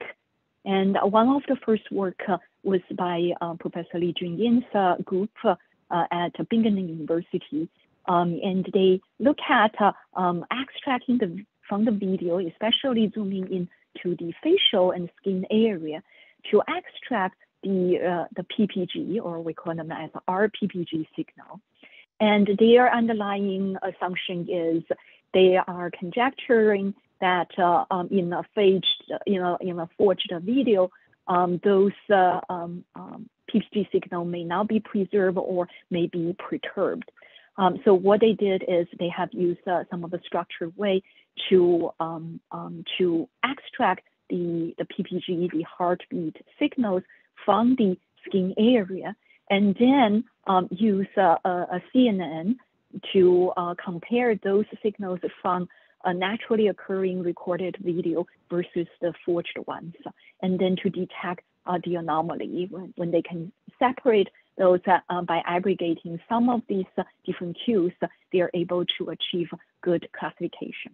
Again, here the underlying assumption um, is uh, um, the forger may not be fully aware uh, of the use of a PPG signal. Another recent work uh, published uh, um, in last year's uh, um, ACM Multimedia Conference uh, use a more sophisticated deep learning framework to look at the spatial and temporal attention models and then looking at um, making this real versus uh, uh, fake uh, classification. Um, now, so naturally, as we work in this area, it's really also depending on who has the upper hand. Uh, if the forger has a really good uh, grasp and uh, understanding all these underlying mechanisms and have really good um, remote PPG extractions, they actually could potentially do quite a lot of things. For example, naturally from our forensic thinkings and we would, or adversarial thinkings, we could think about the adversary could try to remove the heart rate or restore the heart rate um, at their will. Um, so along that line, uh, we actually have utilized uh, our expertise initially focusing on how we can extract this uh, RPPG signal um, and uh, monitor and track the heartbeat and heart rate more accurately over time and use that as a building block to see uh, could we actually remove the heart rate trace. And that actually have a, a profound need uh, in terms of protecting the privacy of a person. Um, if you um, look at this uh, uh, video analysis for um, not by law enforcement, but for legitimate purposes, for example, um, in sports broadcasting. Uh, before uh, the uh, the uh, physiological conditions of your favorite athletes are only known to themselves and their doctors. But now with these uh, new technologies, uh, any fans could potentially um, um, purchase uh, such services and be able to know the uh, physiological conditions and the health conditions of their uh, their favorite athlete. But this also has really raised a lot of privacy concerns um, in this domain uh, in pro sports as well as in more generally um, other areas. Um, so one of the, um, you can think about uh, um, if we could uh, monitor um, the, the health conditions of, of the celebrities or political figures. so there's a, a really a need how we could in legitimate purposes uh, to try to remove those uh, um, uh, heart trace from the video so that we can uh, protect those sensitive health information. And certainly, as we just motivated for analyzing the effectiveness and the limitations of deepfake detection tool and to build more powerful ones in the future, uh, we could see this as a, a, a good uh, adversarial study tools to see um, how effective um, the physio-based forgery detection could be and how easy to circumvent those. Um, so we did exactly that. Let me um, replay this. Um, so this is uh, uh, my uh, former student and collaborator Mingliang Chen. And uh, we have his original video. You can see he has uh, really interesting cases. and uh, you would know what would be um, the heart rate at this point. If we do not want to review it, um, we actually impose very, very subtle um, perturbations on the video and could actually remove that heart trace. And certainly for um, as a, a, tool to um, to against the uh, deepfake based uh, detections, we could also specify what will be the heart rate uh, and trace over time we want the video uh, uh, to be and restore, for example, a valid heart trace. And that is what this uh, video is showing. And you can see that visually, the changes was very, very small. So in other words, we have made the changes that preserved the video uh, fidelity, but while removing the heart trace, or in this case, editing the physio traces. So here um, is the, the block diagram illustrating the process uh, where we um, first extract the uh, RPPG signal and in this case, it's uh, somewhat different uh, uh, from the um, um, from the earlier monitoring. The monitoring is more an analysis process. We do not have to worry about uh, uh, generating another video. We analyze video and produce um, the uh, the heart rate or the RPPG signals. But for this pulse editing, we also need to have a synthesizer step. Ultimately, we want to generate the video. So in this, uh, we try to um, analyze multiple region of interest after analyzing the facial features. And for each region, we try to deduce uh, what are the um, the um, the skin intensities over time for each region.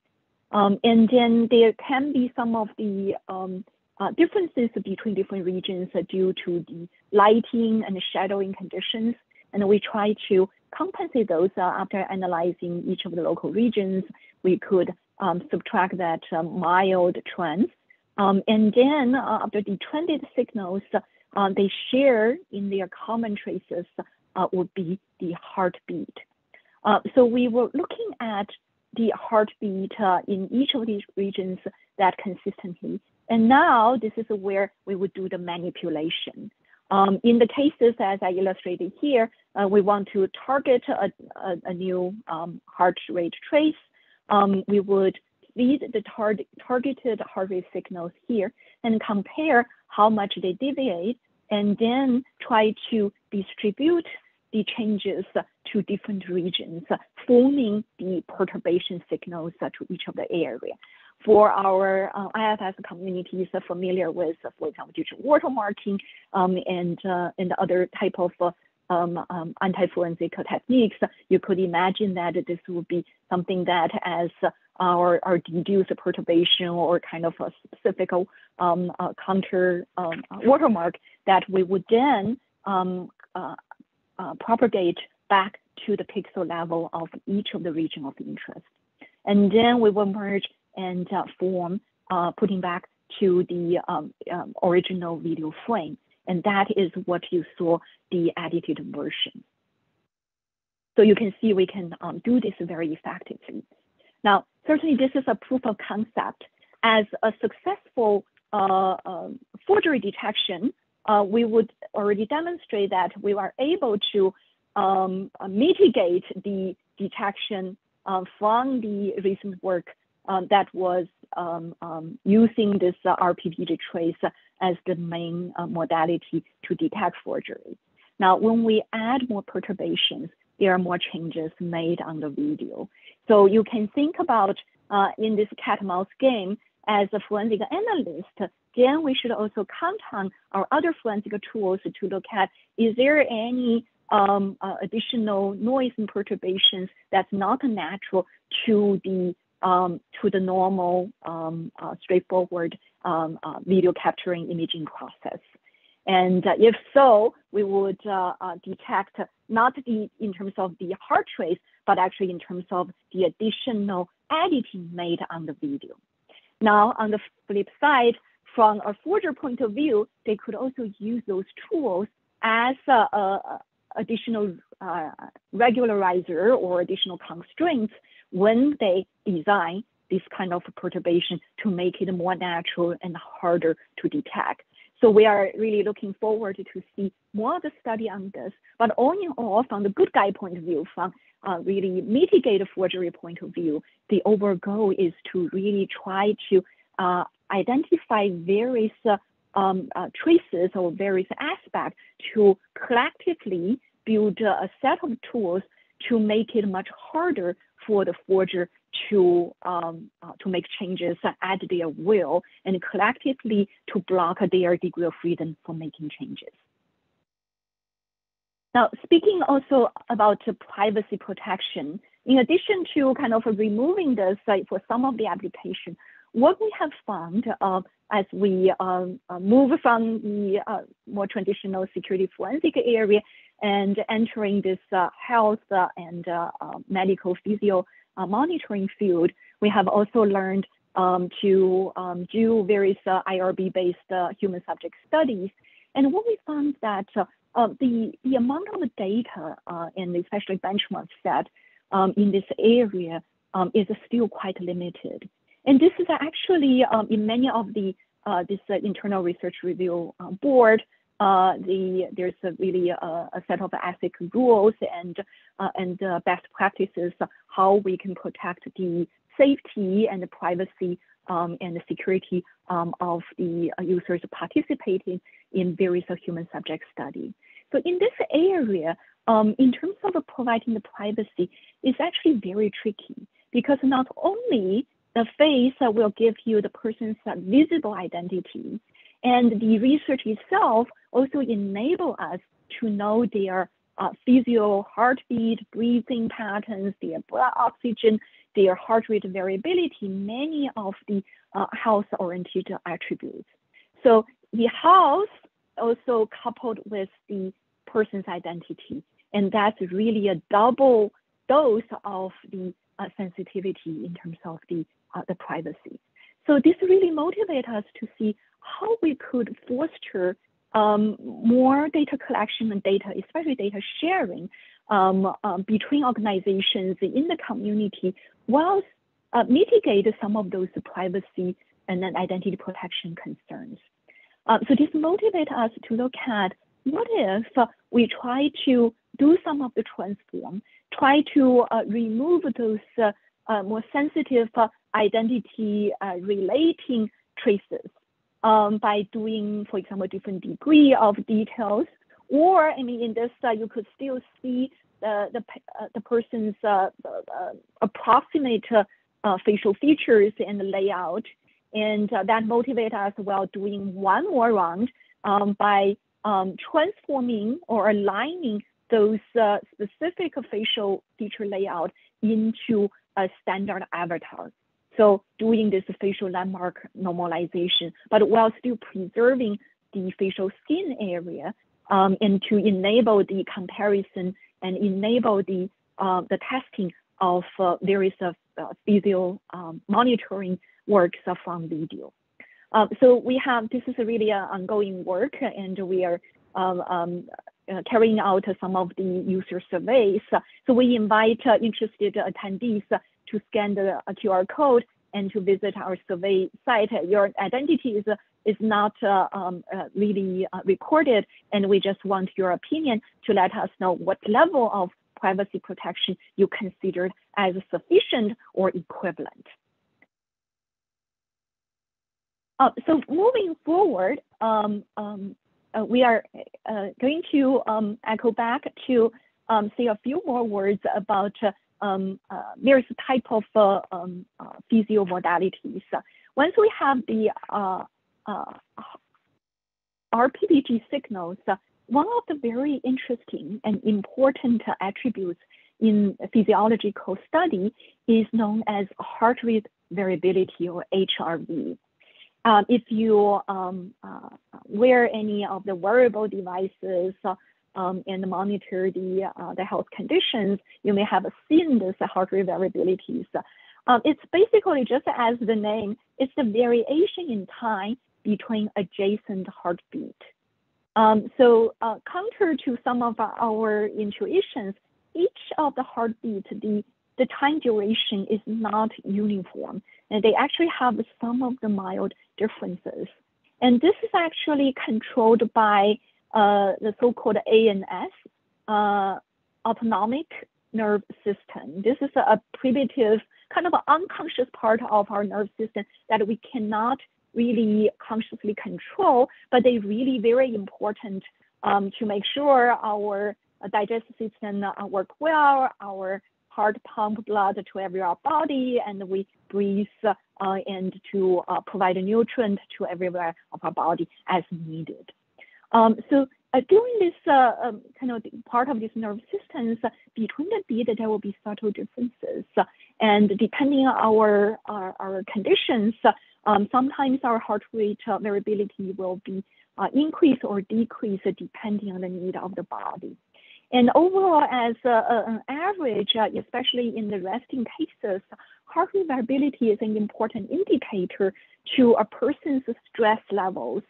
Um, um, and when we are under stress or really uh, face danger, our body really need to uh, get different parts to work together to really uh, tackle those challenges. And vice versa, we will be more relaxed um, and as we recover. Um, so this is an important indicator. And you could also imagine that we could use such information in the next generation of deepfake detection to utilize not only the heart rate uh, or not only the heart trace presence, but also utilize some of the heart rate variabilities to see whether it's consistent with the movement, with the activity the person is uh, engaging in. And then therefore to look at whether there's any mismatch or anomaly. But first of all, we need to be able to extract this from video. And this is actually also uh, uh, for many um, uh, some of the preliminary work and published in the, in um, in the literature. But overall, um, this is more challenging compared with the wearable. The wearable is a touch-based sensor. The PPG signal is much high quality and you can get this uh, HRV more accurately. But the from the remote imaging modalities, the noisy PPG would mean that uh, the waveform may have various motion artifacts and the uh, in between, uh, we might miss a beat, and that actually could uh, introduce substantial differences between the uh, the peaks. This is known as the uh, interbeat uh, intervals. So that's the, known as IBI. And in fact, HRV, the heart rate variability, is basically a function derived from the interbeat interval signals. And there are a few common metrics that I will um, just uh, summarize it here. And they basically are measuring how much uh, differences between the, uh, the time durations of adjacent beats. And a commonly used root mean square uh, of the successive differences, uh, just focusing on the adjacent beats differences, and then um, some of the, uh, the, the, the, the, squared um, differences, and then taking a square root. Um, and then if we are looking at how much deviation away from the average, um, uh, we would have this uh, known as a standard deviation of or the IBI of a time window of interest. And we are also interested in is there any particular uh, IBI intervals that's particularly longer. uh, than, for example, a, common threshold of 50 uh, milliseconds. Um, so those are common um, attributes to analyze from health and physio monitoring side. And we also envision those could potentially be useful uh, for various forgery and integrity uh, purposes in the future uh, when the uh, RPPG can be reliably uh, detected. Now, um, in addition to the heart rate variability, we have touched on the ECG and mentioned about the this uh, electric, this more gold standard for in the medicine, in the cardiology field um, to uh, measure the, uh, the electric potentials that governing the uh, muscle contractions of our heart functions. And when we work on this imaging-based or remote PPG work, I have a very interesting discussion with a program manager in National Institute of Health. Um, so he found out our, our, research and also the research in the literature uh, for measuring the heart uh, rate is very interesting. But he said that, well, in the in sports and fitness, the heart rate might be sufficient, but to um, the greater interest in the medicine, uh, their gold standard is the ECG. So he challenged us, can we actually from the video be able to deduce ECG signal? So my first time uh, hearing his uh, uh, question, I was uh, uh, really intrigued, but also feel that it's nearly impossible because you already have seen how much of the heavy lifting we need uh, in order to deduce the uh, the heart rate from PPG, but ECG is much thought. I mean, it, ECG uh, the the waveform shapes um, is more unique, and uh, we may not be able to really sense that kind of sharp signals. Uh, but the more I thought about it, I was very intrigued uh, and really want to see, is there a way we could uh, tackle this problem? So actually one of the enabling steps during our pursuit of this um, interesting and intriguing question is to see, is there a relation between the ECG and PPG? Uh, because if we can do, we actually could uh, contribute to the medicine um, um, and also can shine more lights uh, from a, a, general forensic point of view. Um, the ECG is, uh, as I mentioned, is an electric potential. PPG has a very different sensing modality. Um, but if we could do this, then uh, many of the clinical knowledge is on ECG, but ECG measurement is more involved. Um, you need to deal with those speakers. Um, and you may ask, well, the Apple Watch has this uh, uh, these ECG uh, in their new models, but those first would require you as a user to be actively involved and put your finger there for 30 seconds.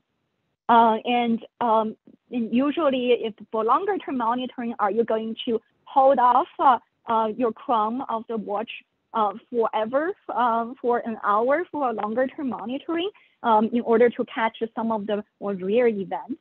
Um, so, uh, but PPG is more friendly. We could wear something that um, that we can um, almost forget about it. Um, so it would then uh, help us to um, have more user-friendly um, measurement and then to infer important information that will provide um, um, more useful information and transfer some of the knowledge from the um, ECG-based diagnosis and then to foster the PPG-based diagnosis. So with that thinking, we actually um, uh, embark on a journey to look at what are the relations between PPG and ECG. If you found a pure data science or machine learning black box uh, um, uh, angle, so you could say I just uh, gather a bunch of ECG and PPG pair, and I try to fit a neural network or fit a model in. But we want to really, um, from a, a signal processing perspective, we want to see if we can get a more explainable model because the doctor uh, for the medicine explainability is very important. Um, so here, what we have uh, seen using our signal processing signal system uh, modeling uh, background, we looking at this uh, very signature ECG uh, waveform. We see those sharp QRS complex, and then the, the PPG are much smoothened. how are they related? So they too, superficially, the uh, um, sensing mechanisms are very different. Um, so if you talk uh, to uh, a medical doctor or uh, bioengineering researchers, they will say, well, this doesn't make sense to do the inference. But from a signal system point of view, when our when the potential triggered our muscle function, so that's the source uh, that's closer to the source of the actions. And then as the uh, potential and then um, the muscle contractions or relaxations, they push the blood as a, a liquid um, medium um, through different part of our body. And eventually we got the sense that using optical means to uh, at our finger or different part of our body. So you can see they are really related uh, from this uh, signal and system point of view as a source, maybe going through um, our body as a complex system. If we simplify this, it may be a, a, a kind of approximate as a filter to uh, capture this as a sharp waveform, but being smoothened as they pass through um, different part of bodies through this blood as a liquid medium to the end and then sends through the optical means. So there's various uh, very natural smoothing operations we can understand. But they have this source and uh, input and output behavior very naturally uh, that we would think of maybe a kind of filter, but could be very complex, may not be simple LTI filter. But as a simplicity, could we approximate it using maybe a linear operation? And then we can gradually add some of the time variance and some of the nonlinearity to help us gain more insights and relate the um, this behavior from the um, more source uh, input signal of ECG and what will be the um, resulting output uh, as the PPG signal. So in this journey, um, our uh, first uh, kind of uh, conceptual uh, thinking, the high-level methodologies with this biophysical and imaging mechanisms is, um, well, the lower part, if this is really a smoothing operations, um, naturally we would think about an invert or inverse filter or inverse filters. The for whatever spectrums we got suppressed, we would try to amplify it out, and what, whatever we got boosted, we will try to suppress it back. That is what the basic inverse filtering uh, methodology. But for the spectrum that has already completely removed, the traditional inverse filtering will tell us, well, we do not do the uh, the impossible, and those would otherwise amplify the noise. However, we also notice that our ECG signal is not any arbitrary signals. They have this signature waveform, which means that there's a, a tremendous amount of structure or relations in the signal samples in the time domain, as well as in the spectrum domain. Uh, so this actually motivates us uh, and also borrowing the techniques uh, and uh, conceptual thinkings from other part of signal processing. For example, uh, um, in, in terms of the bandwidth extensions from the speech and audio communities, when our signal is highly structured, be a speech signal having this AR process modeling or the ECG signature waveforms, that means their different spectrums could also have a good amount of relationship or dependencies. And if we can learn uh, this uh, relation, then we can um, use the recovered, for example, low spectrum, low frequency spectrum to recover and infer the uh, higher spectrum part that was seemingly lost from the PPG part of the corresponding spectrum. So that is our uh, high level methodology. Try to see how we can do this inference um, both in this conceptual two step, we actually can do one step. We could use this part of the spectrum to see how we can infer the uh, spectrums both in the lower, middle, and higher part.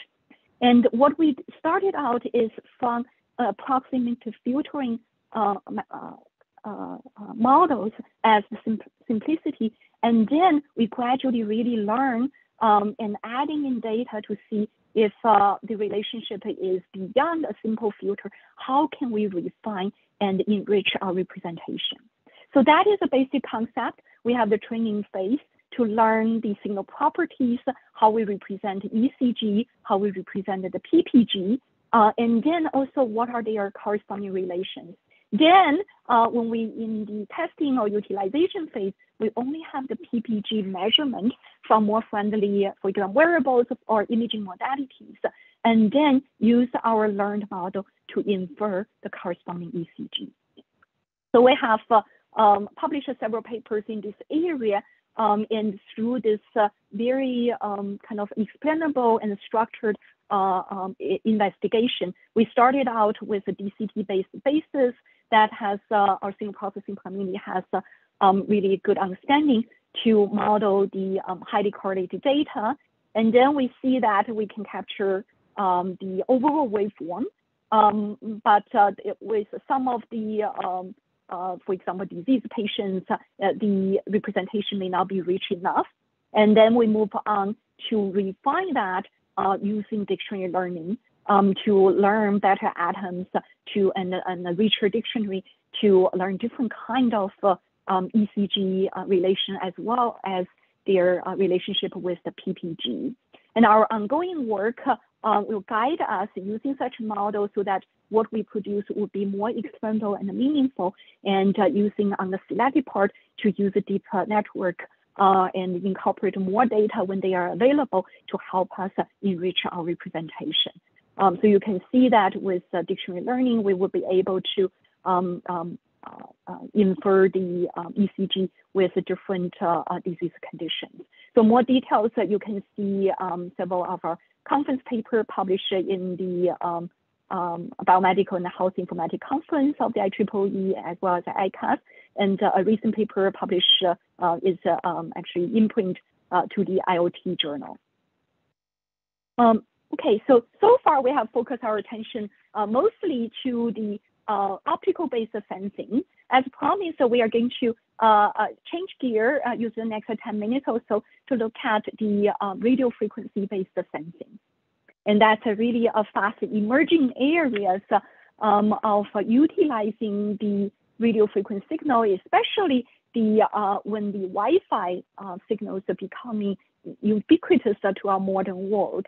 Um, and as the environment change, the uh, changes of our movement, we open the doors um, and uh, we walk through uh, um, in a, a building as well as the subtle movement of our breathing um, could actually perturb the overall um, EM field surrounding us. And that could introduce big and small changes um, when the um, uh, RF transceivers are send, sending and receiving signals.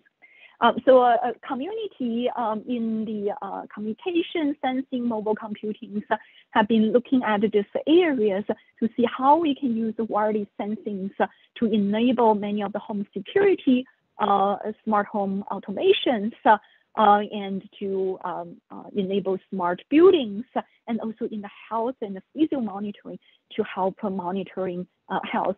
And one of the advantages um, in the RF is it's not visible. So the um, one of the um, uh, compelling advantage is is potentially have uh, a better kind of privacy protections compared with the uh, imaging-based approaches using um, normal visual uh, camera. So here, if we look at what the uh, um, RF-based sensing work are harnessing, um, usually there's a, a, transmitter and a receiver, and often um, those could uh, be coming uh, doing both kind of work, so as the transceiver. And as they send the um, uh, these modulated uh, RF signals uh, modulating at um, certain frequency range, um, um, following many of the um, studies in the wireless communications and and the radar communities. There's both a direct path, which is usually called our LOS, line of sight, but they are also bounce back um, different objects as well as persons. So those are known as the multipath effect. from a traditional um, communication point of view, the direct line of sight give you the direct and high quality signals, and those multipaths will create multiple kind of shadows or echoes. Uh, that's uh, really bad, and people try to remove or mitigate those. Um, but then um, researchers in communication have found, well, if we know how to harness those multipaths, we actually could see multiple versions of the signals so that we could actually pro provide more reliabilities. And if we can combine them properly together, we can boost, uh, um, we can beef up the uh, the throughput as well. And wireless sensing um, uh, utilizes uh, multipath in a similar way, but instead of transmitting uh, data at a certain bandwidth, they try to utilize um, are there any things change uh, at different moments um, in different multipaths?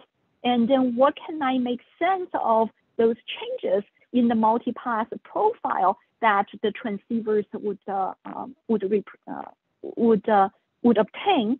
So therefore, this really interprets those multipath disruptions for sensing purposes. As I mentioned, the profound advantages is no camera and no wearables and no sensors. But it's also inherently quite challenging because the signal is uh, really combined and buried uh, within each other. So that's where this community um, of wireless sensing that uh, uh, myself and Chau-Wai have also involved um, in some of the work uh, with our colleague at University of Maryland and uh, the uh, one of the high-tech startup that we have um, um, uh, done some of the collaboration and consulting, the Origin Wireless, uh, funded by my, by my colleague, Professor Ray Liu at University of Maryland. Um, so they, um, the, the research team had actually um, made a lot of progress in this area. In one of the significant progress is to really harness this uh, uh, set of information known as CSI. This is not a crime scene investigation. It's standing in this context for uh, channel state information. And what this does is basically try to obtain this uh, multipath um, um, uh, profile in terms of the channel impulse response. As we see in this simplified uh, um, uh, illustration, there's this direct path, a line of sight, and that has some delay. So if I send a pulse uh, here, just uh, just a, a, straight pulse there, I will receive it at a delayed point. But there are also other passes, and that will take longer. For example, this gray and red ones, and you will see them at a different uh, uh delay. Um, so this is really captured here um, as the impulse response modeling this uh, systems that we see. each of the paths um, depending on the penetration attenuations, they may have a different uh, channel gain. And if modulation is involved in the um, common modeling in the radar and uh, wireless communication is to bring this to a baseband uh, equivalence. So some of these channel gains could uh, be represented using a complex number and there's also delay. Now, depending on whether the person or the overall environment is changing or not, if it's walking or door is opening or I have subtle breathing, you could see that this delay profile over time could be changing and the uh, channel gain could also be changing. That's why we put this T here. And then we use this tau to represent this uh, general impulse uh, uh response uh, variables. And um, in addition to this time domain representation, we can take a, a Fourier transform um, to get this frequency response. So overall, um, in the mobile computing community, when this uh, was first uh, uh, being investigated, many, many of the work used the so-called RSSI. This is basically uh, a receive the signal strength.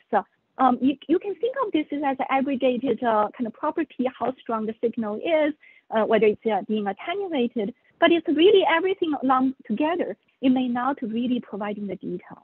If we are able to really looking into among the various subcarriers uh, of how this uh, different uh, uh um, uh, in terms of gain and delay profiles, then we will be able to uh, provide more insights and seeing different subcarriers and maybe um, also are capturing different multipaths in different ways so that we could uh, really kind of, uh, it's a drawing analogy to a prism.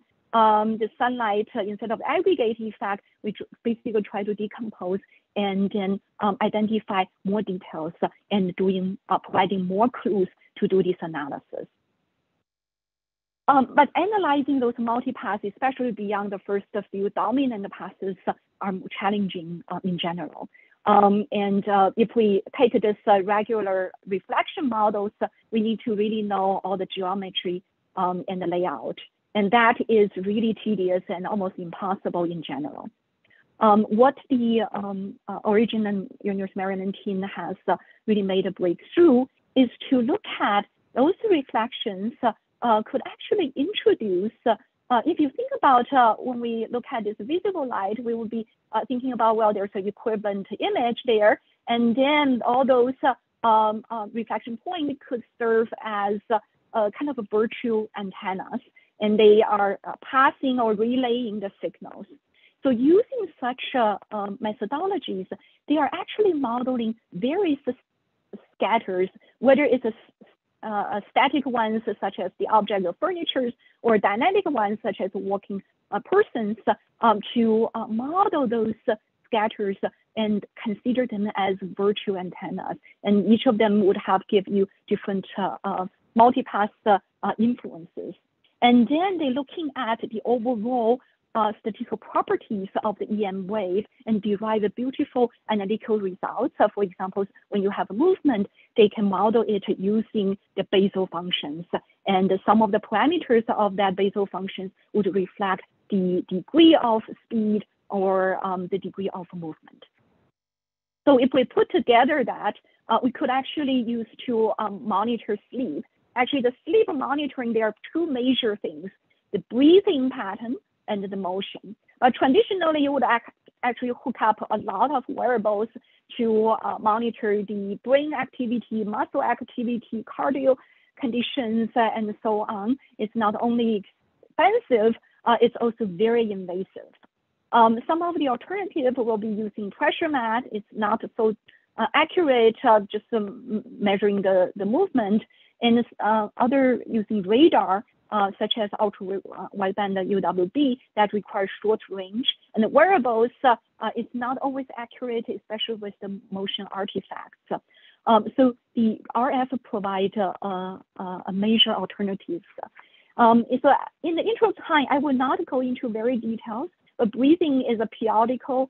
So they, um, the researchers uh, um, at uh, Origin working on this have found that the breathing signals, if we analyze this uh, um, um, autocorrelations of breathing, they actually can relate to the autocorrelation of this CSI. When they visualize, you can see different subcarriers over time.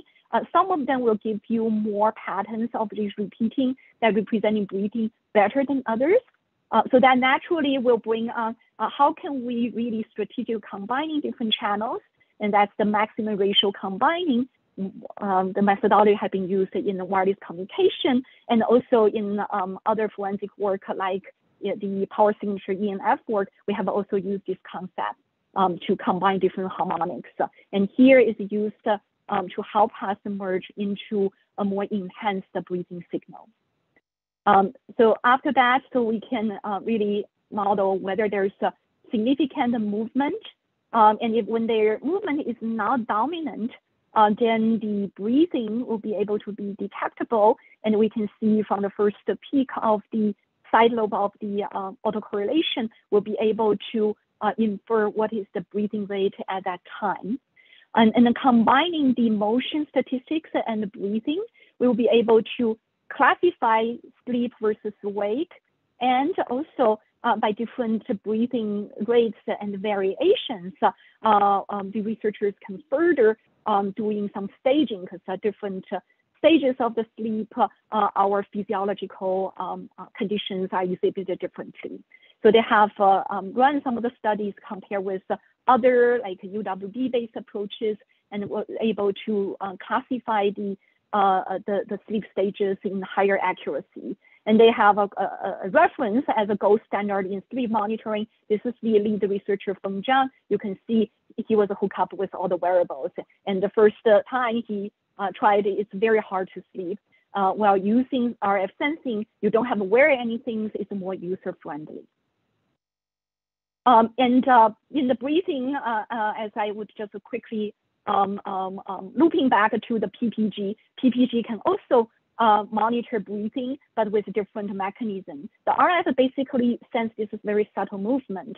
And the PPG is looking at the cardiovascular activity. Our breathing can induce different variations as a slowly changing things. And we can analyze the PPG. Uh, my student and I had uh, and the collaborators at FDA have derived some of the amplitude and frequency modulation models and published in the IEEE Journal of uh, uh, uh, Biomedical and Health Informatics. So basically utilizing that and then looking at whether there's any uh, plus minus delta F around the heart rate to help us infer the breathing. Um, so I will um, um, wrap up. So uh, in summary, we have uh, um, given a, a, a, tutorial overview on uh, various type of physiological signals. They are generally microsignals, um, and you can see the applications and rising from uh, both the health applications to potential law enforcement and also the uh, media and uh, forgery detections. We see cross-cutting synergies among multiple technical areas. There's both benefit that we can monitor uh, physio from uh, without contact and uh, at times even without active user involvement. But that also have privacy implications such as in sports I mentioned in surveillance, um, the uh, the privacy issues of the health conditions of the person could be um, need to be considered. Um, looking ahead, uh, we see um, promising use uh, in telehealth, early screening of uh, disease or pandemic, um, and uh, facilitate law enforcement um, in various investigations, and also have a role in media forgery detections or counter detections. And in the technical community, uh, we really see um, the, the approaches are more principled uh, versus data driven. And what we see um, in the future is really how we can uh, harmonize these two methodologies, really utilize more insights, explainable, but also utilize data to help us tackle challenging situations. And we want to acknowledge the funding support from National Science Foundation and University of Maryland, as well as our state of Maryland through various funds. Um, and uh, a number of our collaborators in the uh, health uh, and physio and medical areas, um, as well as our graduate students and also some of the uh, undergraduate researchers are also listed here. So I will stop here. Um, thank you very much. Uh, it's really a pleasure for Chao and I to present the tutorial. We'll be happy to address questions both here and offline. Thank you very much. Min Chao thank you. Thank you really a lot for this great presentation. It was really uh, enlightening uh, what uh, you have explained and these micro signals that can be applied in a so large variety of applications. Okay, so are there any questions in the audience?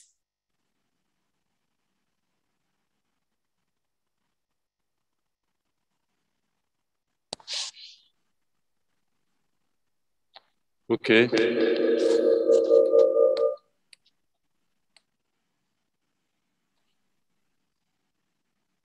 I can start to make a question if, uh, okay, William. I don't know. In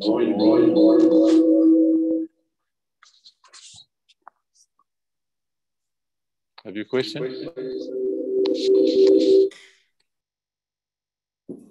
William, there is a very strong echo from the room. Okay. Okay, I can start with a question, uh, me and Chau-Wai.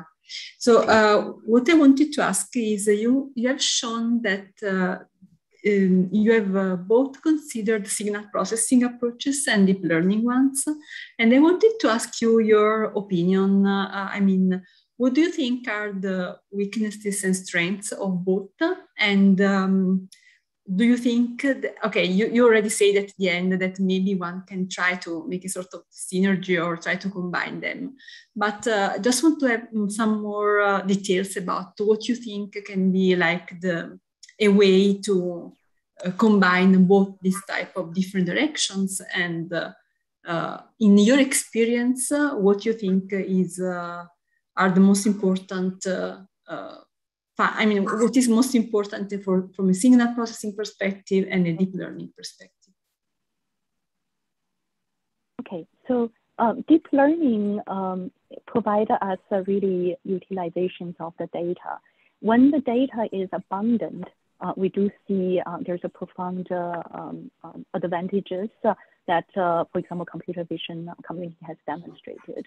Um, but I also want to caution, many of the results uh, show good results on data set. And many of those data sets are still quite ideal.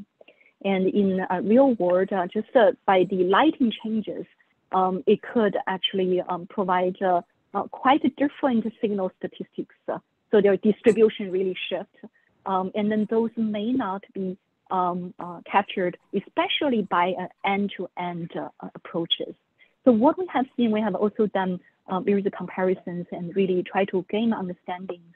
What we have seen is uh, um, if the um, the mechanisms can, so there's actually quite uh, um, uh, competitive and similar uh, performances from uh, principled approaches, such as uh, the the work like PATH um, that Chau-Wai had reviewed, um, that has a very competitive results um, and uh, in many cases can also adapt quite uh, better than the um, neural network approaches.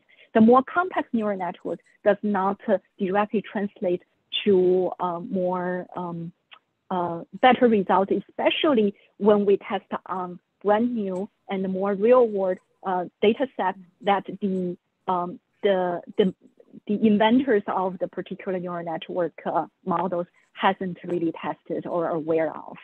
Um, and I, I think in, when we use in medical domain, as well as in the future, if any of this would going into the court, um, throwing a black box when the model is not very well explainable can be a right. concern. I mean, I, also agree that the explainability uh, aspect is, is, is, really important. And the fact that you can detect such a physiological signal, I mean, you can explain what you're doing. Uh, and so you can actually uh, justifying, I mean, your result, which is something that you cannot uh, really can do well, at least in a deep learning uh, strategy. So I think this is great. I mean, also the fact that you're working on uh, such weak signals. So I also work, work a lot on, on weak signals. And so I'm very sensitive to this. What in your applications, which are the uh, reasons for which, uh, I mean, of course, there, can, there could be noise or whatever for which these traces become very weak. But what are the major uh, causes for which you, you say, okay, in this, in this case, in this application, it's really hard to detect the, the trace? So actually, um, it, since our route for both Chau-Wai and I has been the forensics, um, we actually, as you know, we have worked on different microsignal. Um, the the this is was actually the angle um, that we enter this physiological or health monitoring by looking at the um, the uh, examples given primarily are the resting cases. So we almost always are looking at what are the challenges. The challenges could be, I mean, when you're running on the treadmill. So that's actually when uh, Chau-Wai and I and uh, other um, former students and collaborators started out. If you're running on the treadmill, the movement will be dominant. And at that time, we were working on uh, ENF, the power signatures. So we were work, looking at a similar um, motion compensation and uh, uh, subtracting the underlying uh, content. So that's the, the, angle that we look at. Um, so indeed, when they are not resting cases, you will see the dominant changes coming from movement, coming from the same content. That's not so straightforward to subtract. Um, and then resulting that very small signal. And once we compensate, so that's the kind of residual analysis um, uh, methodology that Chau-Wai mentioned. Um, and then we also see uh, we need to trace that uh, traces. And that traces is almost as noisy as uh, um, the ENF signals that we have seen, and at times even uh, even stronger interference and residuals from other sources.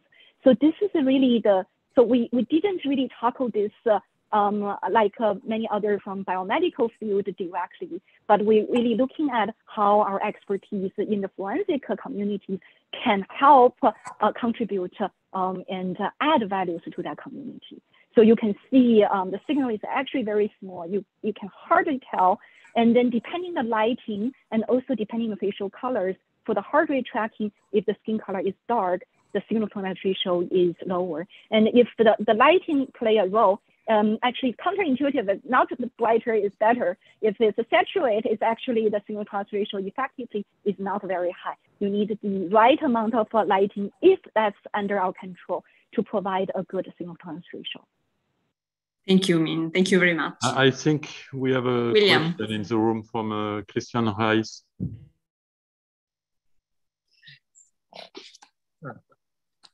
Hi, Min.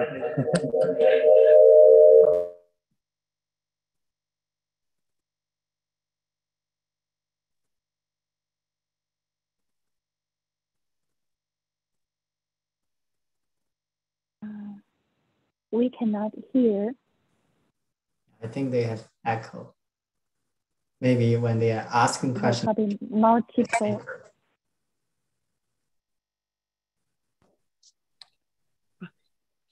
Okay, maybe you can hear me now. Hi, Yes. this is Christian. Um, so you showed these nice results to predict an ECG signal from a PPG signal. And from the curves that you've showed, it also looked as if, of course, there's like a medical artifact in the PPG signals that sort of correlates with what you expect to see in the ECG signal. And now, from a medical point of view, I'm wondering um, wouldn't it be preferable, maybe, or remove like one possible source of error if you, you directly train medical doctors to, to interpret the PPG signals instead of doing this additional translation step?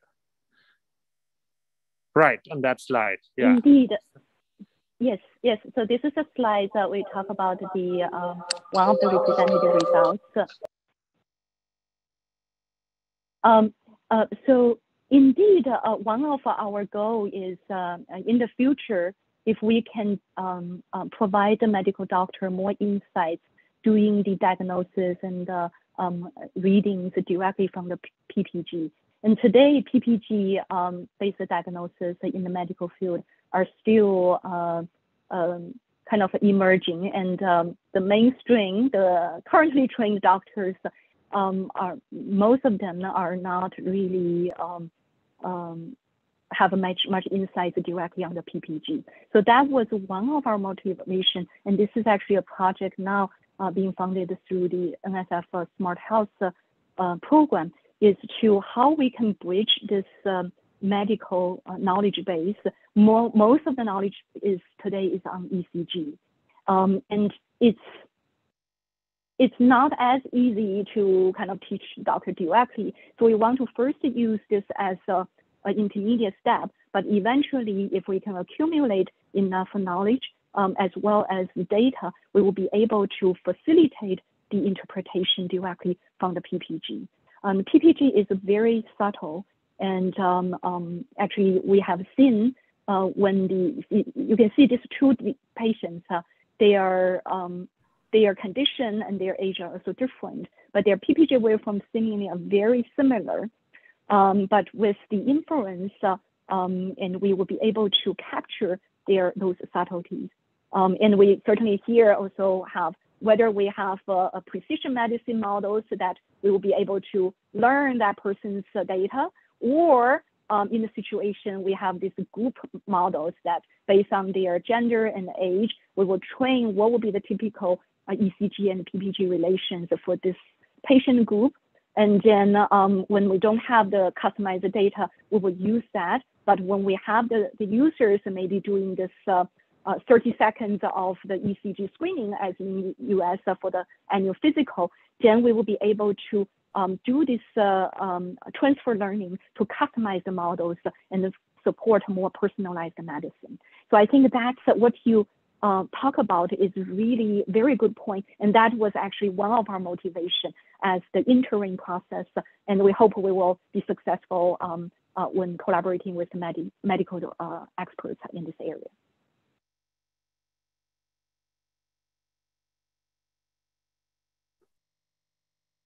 Okay. Thank you. Maybe a question? No? Um, so I, have a question. Um, what's about the, the quality of the images you process? Uh, is it uh, image um, directly from the sensor, image raw, or uh, TIFF image, or after compression when you use a video? I um, assume that the, the quality of the result depends of the image quality. So Chau is actually an expert uh, in um, his uh, previous studies on video compressions, and, and he also have uh, carried out some of the earlier results. You want to address the questions in terms of the effect of the uh, video quality. Yeah, yeah, thank you for the question. Um, so in general, compression will bring the compression noise. In, they usually incur at the quantization stage. Um, so at the so there are certain other modules will actually transform those quantization noise into other form of noise. So they are horrible to deal with, uh, but at the end of the day, they are kind of noise.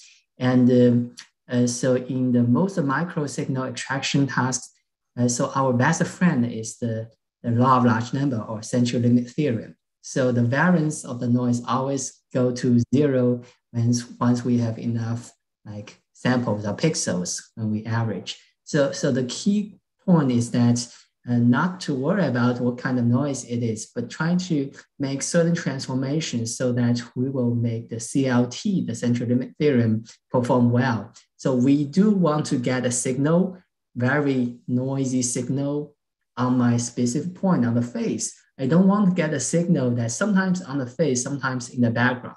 So that will not incur the CLT correctly. So once we ensure that um, it's kind of the noise is unbiased and then we, we can get more and more uh, uh, samples to, to, to get our signal out. Of course, there is a, for each specific application, we have a theoretical kind of frontier trade-off between the, the noise and the, the, the utility or the performance of the algorithm. Yes, so we cannot get very low quality video in order to make, make this heart rate or SpO2 estimation work. So we need to get reasonable quality. But at least for the iPhone camera captured pictures, videos, and for some reasonable compressed videos, and these algorithms are still working. So it will be interesting for each of the specific scenario that we study the effect of compression. I agree that this is pretty very important. And this, this compression noise, depending on the what type of encoder it is using and, and are very different. But at the end of the day, I think that I want to reiterate that the most important thing is to get the, the processing done correctly so that we can apply the CLT in the correct way. And then, of course, once we have done the pre-processing, we have done extraction, we need to do the extraction using some more fancy algorithm like the multiple trace tracking algorithm that we we, we, we talked just now. So all these modules are contributing to the success of the extraction, but not just one of them. I would say that um, if we only have the multiple trace extraction algorithm, but you do not really stabilize the phase, it will not give you uh, the heart rate. So, so that's, that's, that's the key. So we have multiple components on all of them need to working reasonably well in order to present a nice system. Thanks. Okay, thank you for your comment. Uh, Louisa, we, we have um, another question at Montpellier. Okay, perfect, yes. Okay. Okay.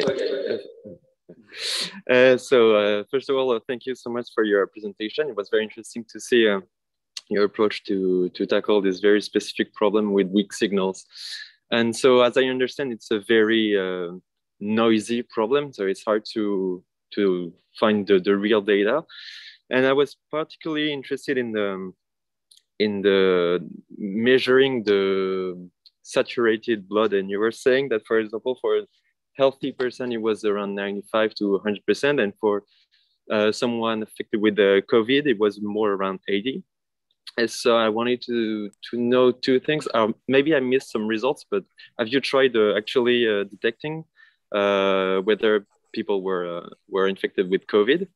Maybe I missed some results. Um, and second of all, um, how long of a sequence uh, should you need to accurately me measure this um, uh, SpO2 fraction?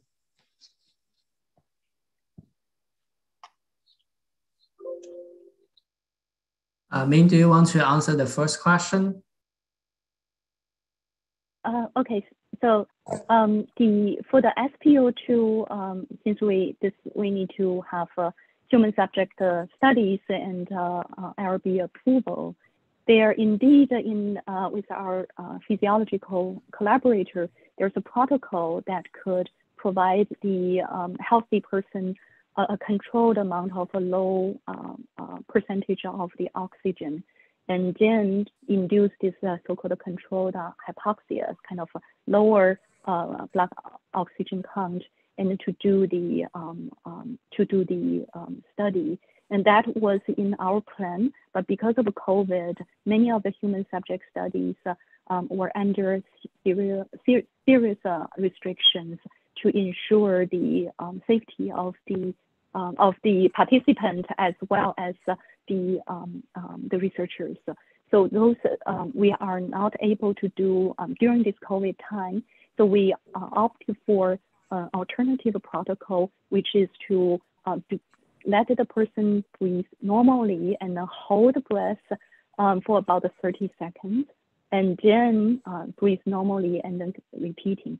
So you can see that by this kind of breath holding protocols, usually the um, the amount of blood oxygen cannot be lowered um, uh, below about 90% for, for the people we involve in. If we would using that breathing, uh, we could go down to about 85 or sometimes uh, some of the protocols at conditions at 82%. So that is in our study, but you can see based on the data we are able to collect, we can follow the trend. Um, and uh, um, Charlie, you want to address the second part? Yeah, so the second question was about uh, how long the segment will be for prediction.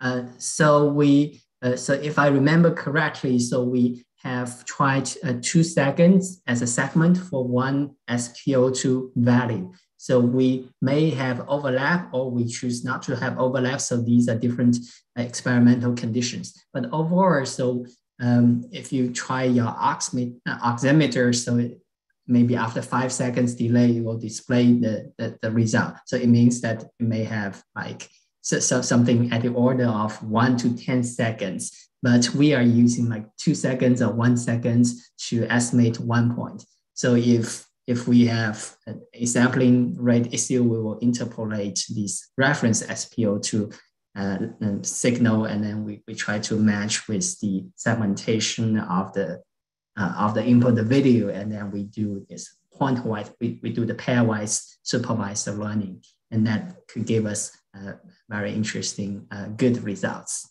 Yeah. Uh, thank, thank you.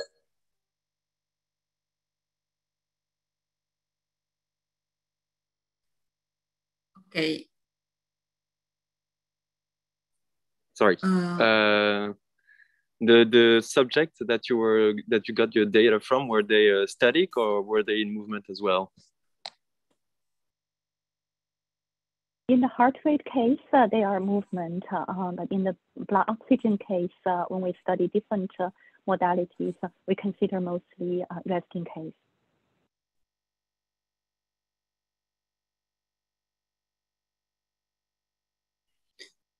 Okay, William, are there any other questions? No, mm, no? we have no more question at Montpellier. Okay, I think that also in the chat uh, there are no questions. I don't know if there are some uh, questions from remote uh, audience. If, if people want to make a question, you can just uh, chime in and make the question. I mean, no problem.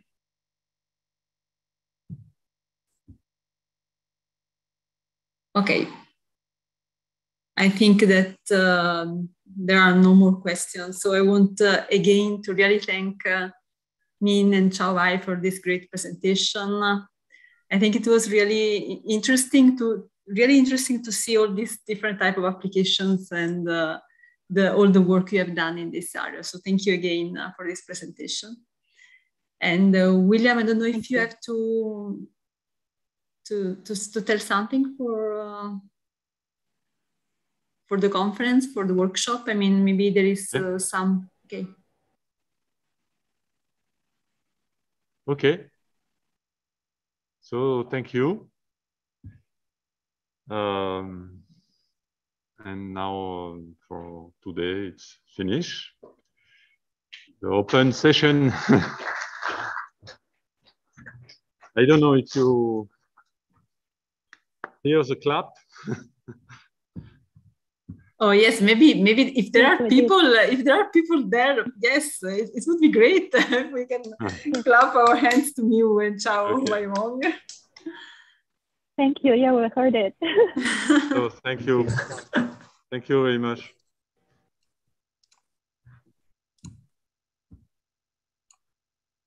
Okay.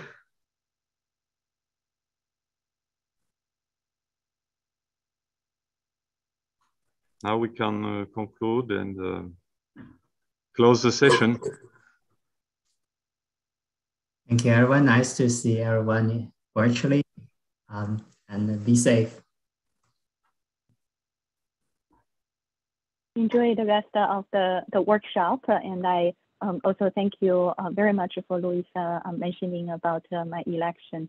And I really appreciate many of our colleagues' support. And I look forward to work with our colleagues uh, for the societies uh, in the new capacity. Yes, I, I think it will be a very great, a great work, Min. Starting next year, you will be very busy. Congrats for this uh, result. Okay. Thank you. So in on one hour we have um, the welcome reception. I'm sorry for for you, but um, I hope to meet you next year or, for next uh, conference. Yes, let's hope to meet soon in person uh, without any type of restriction.